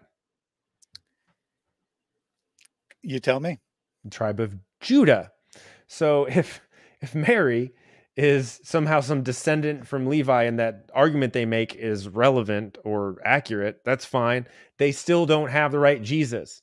They think that Jesus came from the tribe of Levi when clearly he came from the tribe of Judah if he he couldn't be the Messiah if he had come from any other tribe. So even if you grant them arguments 9 times out of 10 there's still ways to overcome them. Even if you just go, oh, I'll grant that, I'll grant that, I'll grant that. Oh, by the way, did you realize that the Messiah had to be from the tribe of Judah? oh, anyway, uh, not not to belabor this point, but there's actually some early Muslim commentaries that think it is actually the same Mary, and like people just lived hundreds of years back then. I've never heard that. I have never heard that. That is a special, special kind of stupid right there. That is, uh, wow. Okay. I think you got a super chat, bro. yeah, I was about to say There before we go. go on, we have a super chat here from uh, persecuted.ct. Even they got the wrong Jesus, that character is still greater than their prophet. And Right, even- certainly true. even Isa, right? They're they're Isa, who does have a lot in common with with uh, the biblical Jesus, but in some weird ways. Uh, he was not touched by the shaitan, and neither was his mother touched by the shaitan. But the shaitan touches everyone else. Not a again, not a genius or anything like that, Thaddeus. I know you are a genius. was Muhammad touched by the shaitan? He was, in fact, Okay, was Muhammad's mother touched by the shaitan? uh, presumably. Okay, because everyone else was besides two people in the entire history of the world. Jesus. And uh, Mother Mary. Um, but you're right, even their even their pretend Jesus is way superior to their best of uh, conduct for mankind, Muhammad. Yeah, I mean, absolutely. There, there, we won't belabor the point, but the, if you go, you know, search on the internet for ways that Jesus is is superior to Muhammad in Islamic texts, and you'll probably get a list of like fifty different ways that that that Oh, the easy. Islamic Jesus is superior to the Islamic Muhammad. Do you mind if I tell you a, a brief story about Yahya? Sure. He's he's been he's trolled you before, right? Oh yeah. Okay, I've debated Yahya way too many times, but one of one of the debates that he himself wanted to debate, I kid you not, this was his idea. Who is superior, Jesus or Muhammad? he debated me on who was better, Jesus or Muhammad. and it was that, that's idea. especially funny because a Muslim is supposed to say that all the messengers are equal. Right. I mean, I, I, would. I I literally even countered him when he when he sent me that. I was like, no, dude. Like, let's do like, you know, Paul versus Muhammad or something. Like, you don't want to do this. He's like, oh yeah, I do, and uh he did. Uh, Villainous has solved the dilemma for us here. Mm. He said that since Mary was untouched by the shaitan, she could give birth to Jesus when she was 1500 years old. So I, I think, you know, he's found a consistency here, here in Islam after all. Right. However, you still can't answer the question of how was she a, a, a, from the tribe of Judah? Nah. We don't, need to, we don't need to worry about facts. That's not important. All right, let's um, move on. all right, devils in the details. All right, explanatory power. Um, so we need to we need to take all of these things into consideration when it comes to explanatory power. Um, and I think I do owe what's what's their face nano nano. I apologize. You weren't as you weren't them. I was just kind of mean to you, and I didn't mean mean to be. Not that I'm automatically mean to Muslims, but what you said was kind of weird. Um, anyhow, I apologize if I was overly rude to you. Um, but back back on it. So if you have um, if if if you have a atheist or uh, agnostic or someone who knows almost nothing about Christianity, um, using kind of a little bit of what we talked about, but the historicity of Jesus is great, and then using explanatory power. And what that basically means is, um, how do I explain the facts of the Christian movement? What explains the facts, right? Because we we know that the Christian movement started near Jerusalem in Judea, right? And we know that it spread rapidly, and we know this because we have writings, inscriptions, pictures, etc. Right? We know that it spread rapidly throughout the entire Roman Empire. Right? We know that it went into to Europe, Ethiopia, or not your um, uh, Egypt, Ethiopia, um, and and it was translated in all these even Germanic languages. It spread rapidly. Right? We even have um, stories uh, how the Christians were incredibly persecuted around 64 AD um, by the Emperor Nero, who um, set, by all historical accounts, set Rome on fire himself, and then decided he wanted to blame the Christians on it, right? So we know that the Christians had made it to Rome by 60 AD and they were large enough of a movement that he could he could just be like, yeah, it was the Christians' fault, right? And he went on to persecute the Christians, and this was one of the worst per- persecutions of all time. I mean, uh, under under Nero, Paul and Peter um, were both executed. Um, the term Roman candles came into effect because of Christians. So what he would do is he would uh, basically put Christians in cages for his little nighttime parties. Um, and obviously they didn't have lights back then, so he would just light them on fire, right? Um, and these people, we know what they thought, we know what they believed, right? Because we have the Gospels, we have the Apostolic Church Fathers writings. Um, and and we have that chain. I like to call it a uh, Muslims call it a chain of narration. I call it a chain of authorship. We have a chain of authorship that describes the history of the church. It describes how it grew, right, and it's all centralized on one belief. Right, people were willing to be persecuted. They were willing um, to to proclaim these things and they they didn't go out with a sword they didn't try to gather money they didn't try to gather power or fame or any other thing that would motivate someone who's a liar to lie. They humbled themselves they were poor and they just went out and they said god loves you and he loves you so much that he sent his son jesus christ to die for you and this is what happened to him. And as sad as that is Three days later, on the third day, he rose again. He presented himself to us. We witnessed him. We saw him. We ate with him. We touched his wounds. right? And we watched him ascend on the clouds back to heaven where he came from. And there's when you really think about it, when you really think about all of the like why did the Christian movement spread so quickly? How did it start so peacefully and how did it grow with this persecution of being burned at the stake, right? Roman candles, all those types of things. How did this go from this one man who was crucified and killed and resurrected to all these people? Well, the best explanatory power is found within the Gospels, right? If you're a doubter or a disbeliever, you, you you don't have to necessarily just go, oh, he walked on water, he was a virgin born. I understand those things are hard to hard to grasp, but I want you to start with Christ crucified and Christ resurrected, and then try to figure out why these people would go to such great lengths to spread the news of Jesus Christ, and then reread the gospel, and you'll understand why. Um, I didn't know if you had anything else to add to that, Thaddeus. That's his, that's pretty much all I have.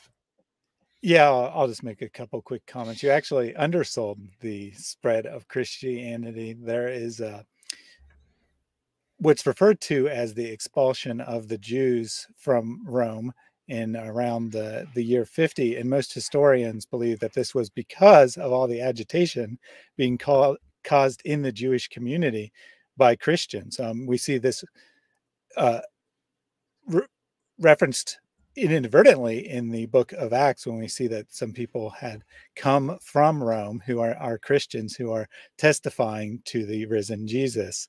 Um, so not only did it spread rapidly, it spread so fast that there was a large enough population to be causing problems in the year 50 mm. and mm-hmm. then re-spread by the year 62 or so uh, to again have a large enough population to blame for the fires of Rome. So you actually undersold that point, just a very minor thing there. But but your main point here is that we have a large number of facts. Um, you know, different apologists take a different approach to this. Some advocate for a minimal facts approach, so called. Others advocate for uh, maximal facts, using all the facts. But either in either approach, you have either a few key points that have to be explained They're basically on. Um, so in the minimal facts case, they're they're things that basically any historian whatsoever would accept as true. Um, things like Jesus being crucified, the church rising, uh, the disciples of Jesus saying that they saw him alive again, and mm-hmm. perhaps the empty tomb, uh, which is pretty universally accepted, but not quite 100%. Right. Um, so you either have those minimal facts or you have all the facts, which is, you know, the the general reliability of the gospels. When it, whenever I bring that up, um, an atheist will be like, "Well, just because they got place names right doesn't mean that they uh, their theology's right." But yeah, yeah, that's true. But it's a starting point, right? It's something you have mm-hmm. to explain that they knew what they were talking about. They weren't just making stuff up, and that's why the rise of the Christian church rapidly at an early age matters. Um, numbers don't make something true, but it means you have to explain it from the original disciples believing this. It's right. not something someone made up a century later in a faraway land that just happened to take off. Mm-hmm. Uh, so you either have you know a bunch of facts or a few facts, and you have to come up with one explanation for them. Uh, no atheist can do this. They'll give you a different explanation for different facts. They'll say, well, the people thought that they saw the risen Jesus, but they were just hallucinating or mistaken. uh, which, I mean, th- that's the best explanation. Mass hallucination, bro. Like three or four people at once hallucinating the same thing, dude. You just got to sometimes you just find those mushrooms in some funny places, you know, and just like, come on, like, like you have to go to like, the, yeah, some of the some of the, um, like you said, the a- atheist theories are crazy just yes. Crazy. And that's the best, right? That that's much mm-hmm. better than a, swoon theory or right. a twin theory or whatever other theory you're mm-hmm. going to come up with. That's the best explanation. No, it is. No, it is. and then you know, for the rise of Christianity, they'll just say that that well that was because paul was so popular and so elegant and well what about the conversion of paul? Well we don't know why paul converted. He must have just had a psychotic episode or something. And then uh you know uh well what what about the the tomb being found empty? Well they were just mistaken or uh they no one had bothered to look. Jesus didn't have a right. tomb in the first place. What are you talking about? Uh, right. you know whatever. The point being that you can maybe come up with some sort of explanation for mm-hmm. any given fact, but right. the explanation's different for each fact. Mm-hmm. Or and, and that's yeah. Or one explanation, the truth that Jesus was resurrected, uh, explains all the facts. Mm-hmm. And the fact, and this is why I started with uh, prophecies, and the fact that this was prophes- like prophesied, right? It, it's it's not as if this is some like ad hoc explanation, right? Although they could work but at the end of the day it's it's an explanation that takes into account the jewish scriptures the, the prophecies of of the coming of the messiah of who the messiah would be of what they would do um you know eh, that when you when you take the minimal facts approach or the maximal facts approach or whatever you also have to remember the explanatory power, and then of course the the prophecies. And, and I just think it. Look, I don't. This is my opinion. Some people might disagree with me, but it's very difficult to find something that you could just you could just say like, you know, here's a hand. As I'm like 100. percent This is a hand, right? At, at the end of the day, you have to you have to take all of the information on board, right? Make sure you try not to miss anything, and and take it on board, and consider and pray, right? Because if God's real, you can pray, go, God, please reveal to me the truth, uh, you know, ab- about your son, son, Jesus Christ, the power of the Holy Spirit, you know, uh, and take all those things on board. And then you can, you can come to a, a conclusion, right? I mean, clearly, clearly, since I'm explaining it, that's what happened to me. Thaddeus, I'm sure your stories as an apologist, usually apologists have had some interesting walks of, of faith. Um, but it's all right there, guys. It's it's all right there, and I just want us to think about it, consider it, pray about it, see what happens. It might be uh, pretty cool. Yeah, absolutely. We should, of course, compare the explanatory power of the resurrection of Jesus to the explanatory power of the Quran's teachings about Jesus. So, um, what what does the Quran's teachings oh, yeah. e- explain? Um, I, I'm struggling to think of anything that they explain. Uh, well, they just maybe G- that Jesus was known as a miracle worker. I suppose they could explain that. That's about it, though. The, the basically the entirety of the Quran, I, I believe, works from the laws of slander, and slander in in Islam is considered offending someone, even if what you said about them was true right? If if that particular person would find it to be offensive, you can't say it. That's considered slander. And especially in Islam, if you slander one of the prophets, especially Muhammad or Allah, that makes you an apostate and you are to be, well, killed at some point by some particular means, right? Um, so when you read the Quran and the Hadith, you see these stories in here, especially the Quran, and none of the prophets are quite the biblical prophets, right? It's it's they're protecting them from anything that possibly could be embarrassing. And if there is something embarrassing, like you see some horrible thing happening to people who who were who embarrassed the prophet. Um, so I think that explains they just the criteria of embarrassment, they're the exact opposite. They change and twist every fact that might be embarrassing about someone and they twist it into a, a, a light that lift they well we uplift our prophets like yeah you make up stories. Like that's not that's not really are we looking for truth here? Or are we just looking like for a feel good story? Like i don't really understand i don't really understand how that is a good we we uplift jesus. We do not say he was crucified. Like i but he was. Like, like he's lying. He just was um, yeah, I don't know if you have anything else to add to that. Please go ahead. Uh, it, it's not directly related, but it, it, occurred to me while you were speaking, uh-huh. so I, am going to go ahead and say it anyway. that if you look at the prophets in the Quran, they're kind of all exactly the same, except for Jesus. That all the prophets are basically recast versions of Muhammad. Now, you know, people trying to lead some sort of military conquest type deal. Uh, but even in the Quran, Jesus stands out as special. Jesus mm-hmm. stands out as unique. Um, he, you know, he's the the one working all these miracles. He's the right. one that is healing people. He's the one who is said to be without sin.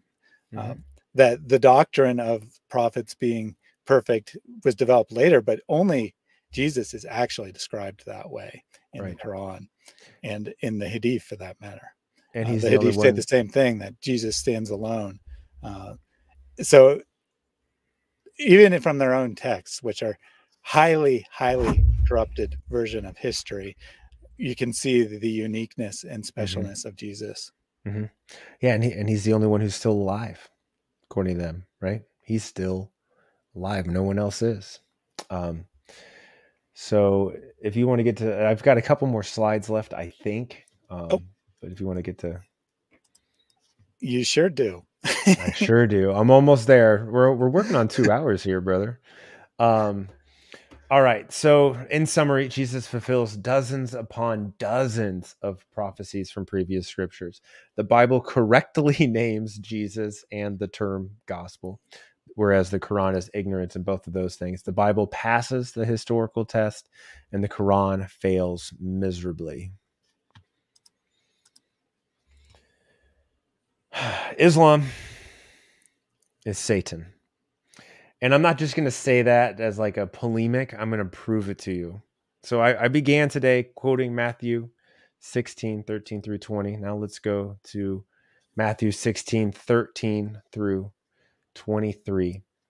And let's see who Satan really is. I'm going to have to read from your tiny, tiny screen. Everyone try to make this bigger. There we go. I can read it now. I got it. Okay. I was going to say I can call it up and. Uh... No, you're good. I got it now. Um, the if somebody's looking on their phone, there's no way they've seen any of this. But you know, just listen to her voice. We'll read it for you. All right. Cool. So we already. I got it. I got it. oh, look at you. All right. So, um, right. So we we kind of already went to this, right? So Jesus asked Peter. Uh, I'm going to go through the just last part of that. Uh, yep, yep. Thirteen. Oh, yeah. sorry. Yeah. There we go. I was getting ahead of myself. Sorry. Okay. So Jesus said, But who do you say that I am?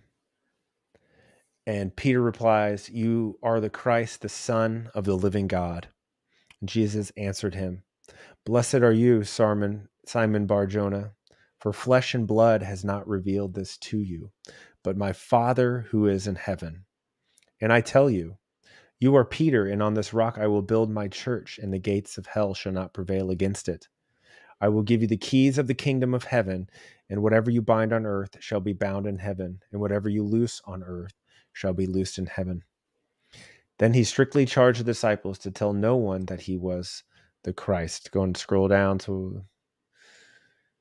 Yep. So from that time, Jesus began to show his disciples, this is very important, that he must go to Jerusalem and suffer many things from the elders and chief priests and scribed, scribes and be killed and on the third day raised. And Peter took him aside and began to rebuke him, saying, Far be it from you, Lord, this shall never happen to you. But he turned and he said to Peter, Get behind me, Satan. You are a hindrance to me, for you are not setting your mind on the things of God, but on the things of man. And I said Islam is Satan because Jesus tells his disciples that he's going to suffer and he will be killed. And on the third day, he will be raised again. He says it very clearly, explicitly. We're reading it right now. Peter says, Far be it from you, Lord. This shall never happen to you. Quran chapter 4, verse 157 says it did not happen. So when Peter said it wouldn't happen, Jesus said to him, Get behind me, Satan. Anyone who denies the crucifixion of our Lord and Savior Jesus Christ, Jesus would call them Satan. And Islam has it etched in its Quran. And we can say that Jesus would have called it satanic. I don't have anything to add to that. That is perfectly put. Is That's all I have to say. Eh, I should probably stop sharing my screen. you could do that. You could stop sharing it if you wanted to. all right. All right. Um, yes, I, I, I think that you know the the the the uh, picture has been painted pretty clearly here.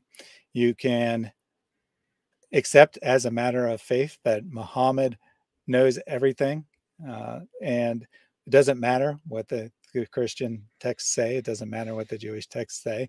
It doesn't matter what historians say. It doesn't matter what anyone says. Muhammad said it, therefore it's true. Or you can take a more objective view of things and say, if Muhammad was correct, then we should see some confirmation for his message. We should see some confirmation about what he said in Jesus. And when we look at history, when we we don't see anything.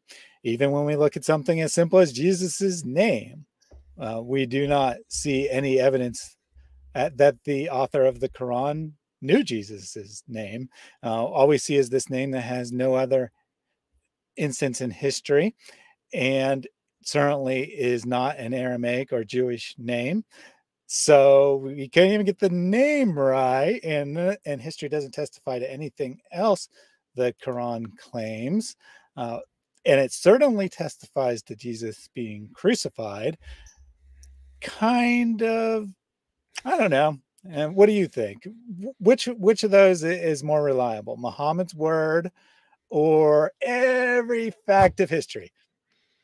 It's a tough call. It's really tough call, Thaddeus. Um, I stayed up a lot at night and I've thought about this, and I'm pretty pretty convinced that everyone else is correct. Everybody else, every fact of history is correct, and the Quran says that uh, reproductive fluid comes from your backbone and your ribs, so you know it's got to be unreliable. Yeah, and not only that, I mean, if we take even if we decide that the Quran is divine. Well, what does it tell us to do? What does it tell Christians specifically to do? I believe it tells us to oh. judge by our scriptures. Hmm. Is that not correct? So, are we not following the Quran better than the Muslims? To throw back what they like to say about Jesus, they respecting Jesus more than we do. Mm-hmm. Are we mm-hmm. not following the Quran better than they are by actually looking at what the Christian scriptures say? We are more Christian than Christian. We are more Christian than the Christians. Well, you know, we're we're more Muslim than the Muslims, I guess. All hamdu to Allah, my friend. All hamdu to Allah. Uh, got one question here, not directly related to what we said, mm-hmm. but we can take a, a, minute or two to answer yeah. any this question and any others that pop up. according to Islamic tradition, it mentions that there are 124,000 prophets. I will point out that that's the most common number, but there is considerable disagreement in the hadith about the exact number, but you know they're they're all accurate somehow. Anyway, uh, where are all these books? Since we're talking about history here, and you seem to know what you're talking about, surely you are aware of some of these other books, right? Mm-hmm. Yeah. Um, nope. I got nothing for you, buddy. Uh, I have no idea where any of these other books are. I have no idea where the mentions of any of these prophets are. And I don't have any idea, especially if these prophets brought books and they were the words of Allah, how somehow we don't have them anymore. Allah is just, he's not, he's not good, not good at really anything except for deception. Apparently, he's really good at deception. Uh, but he, he's not very good at preserving, preserving his word. Um, and yeah, correct me if I'm wrong, but does not the Quran say that uh, Allah sends one messenger to each nation, and he just hadn't gotten around to sending one to the the Arabic speaking people yet, and that's why he had to send Muhammad. Yet, mm-hmm. if I recall, the only prophets that the Quran is aware of are all 100% Jewish. Yeah, pretty much. And the fact that, well, I mean, Abraham apparently built the Kaaba down there in Mecca, according to them. So was did he did he not prophesy to anybody there? I guess he just went down there, set this thing up, and just like skedaddled back and said, "Hey, we're gonna wait 2,500 years before we send you a prophet, but you're gonna have this little thing that people make a Hajj to all the time, uh, and it's monotheistic anyway. Uh, but I'm not gonna tell anybody about it. Uh, although somehow everybody knew about. I it, I can't make these things up. Um, and then didn't didn't Moses and the uh, Israelites didn't they go down and make a little Hajj to Mecca maybe or something? Yeah, He's not a prophet I mean, though. He didn't. who who knows? Who knows? Uh, although I should be fair and say that since they consider Adam and and some of the other very early figures prophets i guess they weren't all technically jewish i mean i don't think we'd say adam was jewish so. Yeah technically judaism right doesn't it comes from israel right which was jacob so everybody before him was just like uh, a father of, of israel or something i don't know. I, I do wonder who uh, adam was prophesying to though um, i don't know. I don't know what one might say eve okay but the quran never mentions eve so yeah. All we know is he was just hanging out there by himself. For for some reason, the Quran doesn't know the name of any woman except for Mary. Yeah. It's a little another another way that Jesus is unique. Only a, a female associated with him has a name. No one else mm-hmm. does. Yeah. This question, I think you will not be able to answer. However, who is superior, Allah or Muhammad? You know, honestly, um, I'm gonna have to go ahead and say tie because I mean it's like I was debating in my head, right? Because like, well, Allah's God, um, but He does everything Muhammad tells him to do. So it's like if you do everything the other person tells you to do, who's really God in this situation? You know what I mean? Or who's like, um, but Muhammad couldn't do it on his own, so he needs Allah, but Allah needs Muhammad to. I don't know. I'm gonna go ahead and say tie. What do you think? Yeah, it's it's almost as if they're indistinguishable. Maybe it's a hypostatic union or something. That Allah and Muhammad are two beings yet exactly the same. I know. I don't know. yeah, sock puppet, Mr. Socko. Do you remember Mr. Socko? What was the name of that guy? Did did, did you ever watch wrestling growing up? Oh, he's nope, a weird sorry, guy. Anyway, somebody somebody might know if anybody's super weird and from America and they watched W. It was WWF back then. He had a he had a guy named Mr. Socko. Somebody somebody please tell me. Got another question here for you, which is also extremely difficult to answer. In all seriousness, uh, Mehmet or Muhammad said a lot of, including that Shaitan cast words on his tongue, as Shaitan did to all the prophets of Allah. I will note, except for Jesus. Uh, mm-hmm. Why is he believable to Muslims? That's I mean that's genuinely a good question. Why is he believable to Muslims? Um, I think uh, we're gonna we're gonna make a callback to the previous one. He's indistinguishable from Allah. And that's actually a, that's actually a really good answer. That he is uh has all the attributes of Allah. So if they believe in Allah, they have to believe in Muhammad. Of course, we could also point out that most Muslims do not know their own texts. Uh, I thought, forget about the the Hadith and the Sunnah. They struggle to tell me what's in the Quran when I ask them. So, uh, you know, you can. It's it's very easy to have a emotional reaction to someone reading words that you don't know the meaning of in a very dramatic and beautiful, if you will, way. Mm-hmm, um, mm-hmm. But it's quite another to ha- to actually rationally know what your religion teaches and rationally accept it. And I mean, I I'll just go ahead and make the announcement to now. I, I was going to do it at the end, but uh, works in perfectly now. Tomorrow, I have a new video out that's called "The One Word That Every Muslim Fears," and the gist of it is that Muslims aren't afraid to talk about any specific topic. What they're afraid to talk about is evidence. Um, ties in well with what we've been talking mm. about today. And the reason this is, is basically if you have any doubt whatsoever about anything that's uh, theological, then you're not considered a real Muslim. So I, I'm sure that most parents don't consciously say, well, I got to make sure my kid doesn't have any doubts. But what they do is whenever a child asks a question about, you know, what, why this, uh, uh, you know, why did Muhammad say this? Why, why did this happen to Muhammad? Whatever. It's like, don't ask questions. Just do what the Imam tells you to do. Right. And because you've been grown up that your whole life, then when someone asks you to give an explanation, you can't. And that that fear comes in, and you say, I'm not a scholar. You got to talk to a scholar of Islam. So those are basically your two options. Either mm-hmm. you know nothing and you just blindly accept everything the imam tells you, or you have to go through all the massive education to know absolutely everything about Islam so that you supposedly won't doubt anything once you know all that knowledge. But anywhere in between, between like basically no knowledge and knowing absolutely everything, anywhere in between, you're in big trouble because you might accidentally doubt because you have incomplete knowledge. No, no. You know, I, I like the idea of it, buddy, but I'm gonna have to I'm gonna I'm gonna foo-foo on that idea. Okay. To be a good Muslim, all you have to be able to do is deflect back to uh the, the Trinity or the divinity of Jesus. And if you can just be like, it doesn't make sense, and you can say it over and over again, that makes you a great Muslim. Uh, true. At least that's what we see from online comments. And I actually think, in all seriousness, that to a lot of Muslims, I'm certainly not every Muslim, but to a lot of Muslims, what's more important to them is that non-Muslims are really bad people. They're really stupid. Mm-hmm. Uh, they're nasty people. You don't want to be part of that group.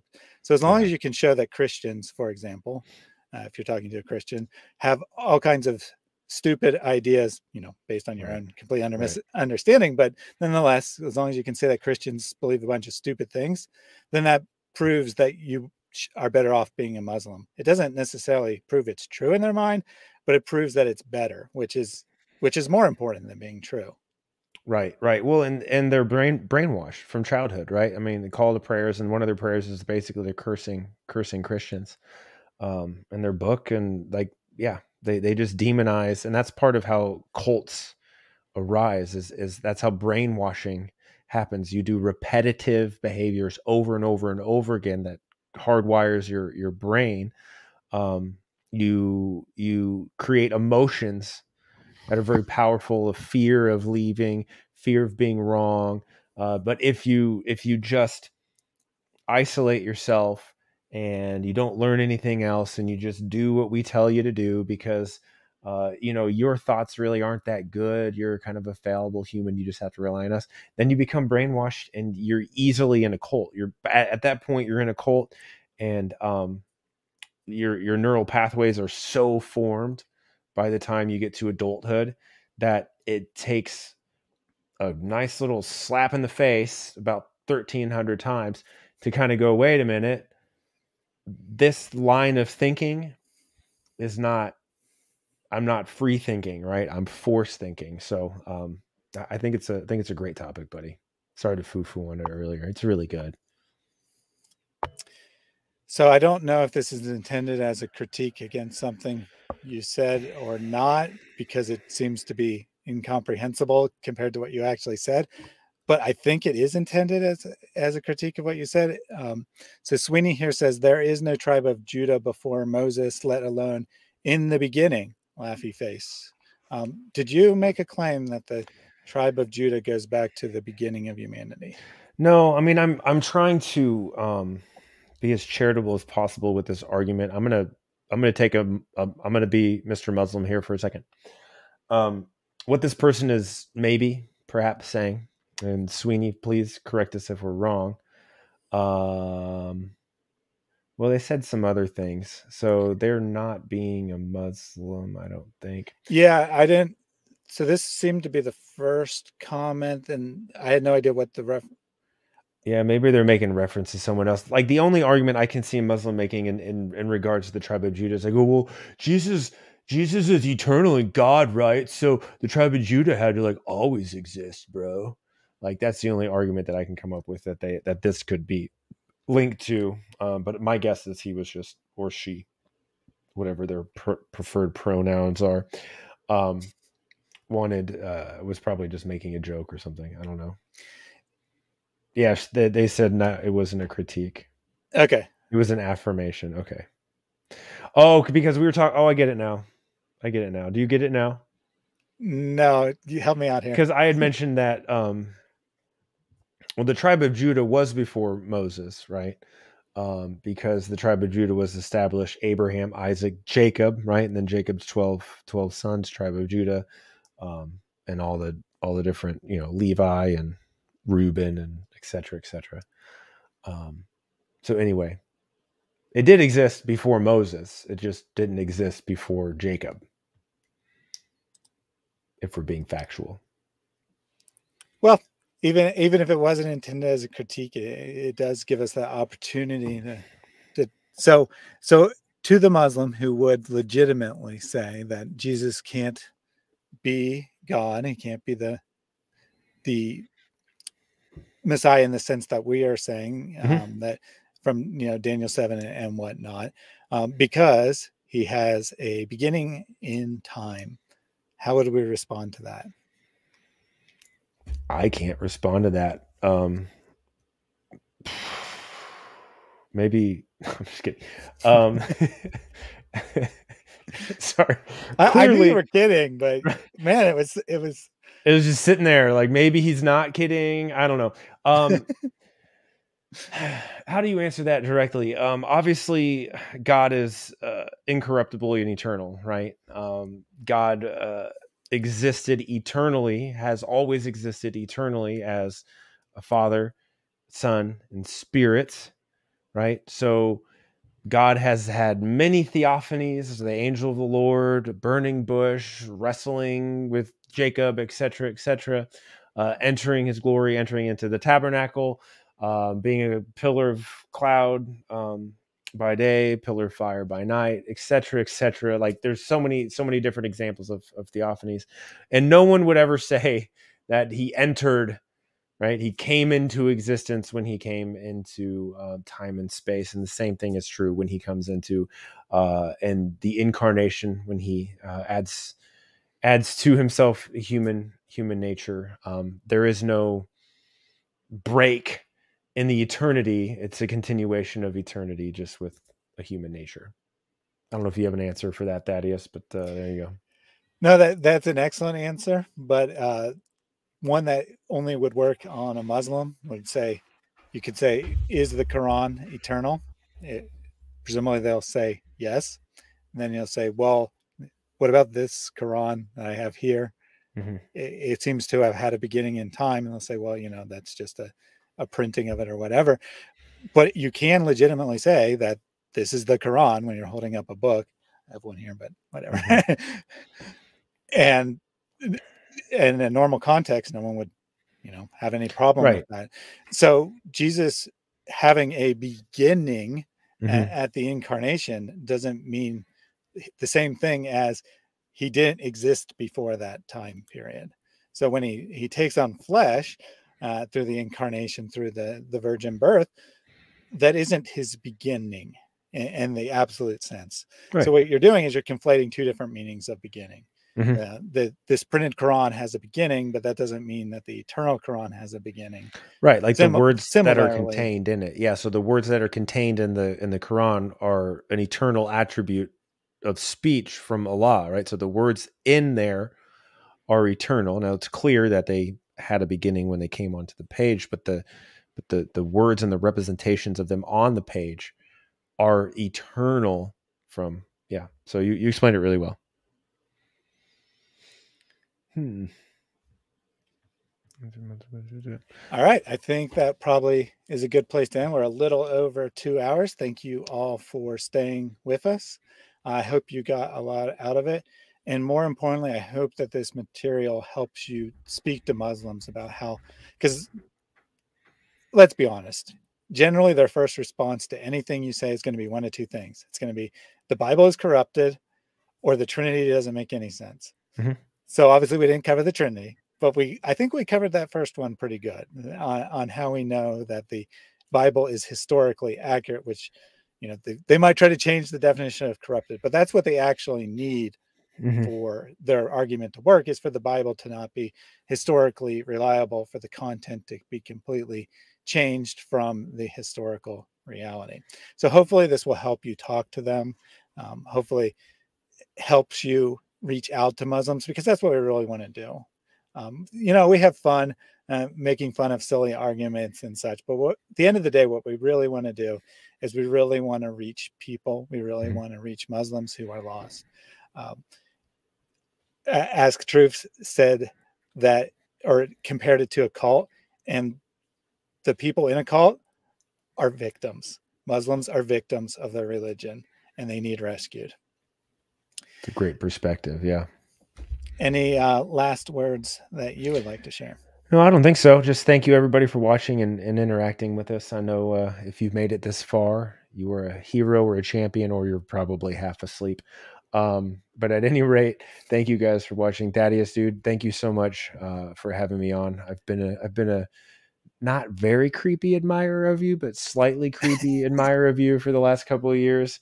Um, so it's it's really honestly it's it, it's an honor to be able to converse with you and and be on share a stage with you. So thank you for having me, and like I said, thank you everybody else for bringing us on, and uh, Muslims and everybody else out there. You know, just remember that Jesus truly does love you. Absolutely. Uh, keep an eye out for my new video out tomorrow, and have a great week, everyone. God bless.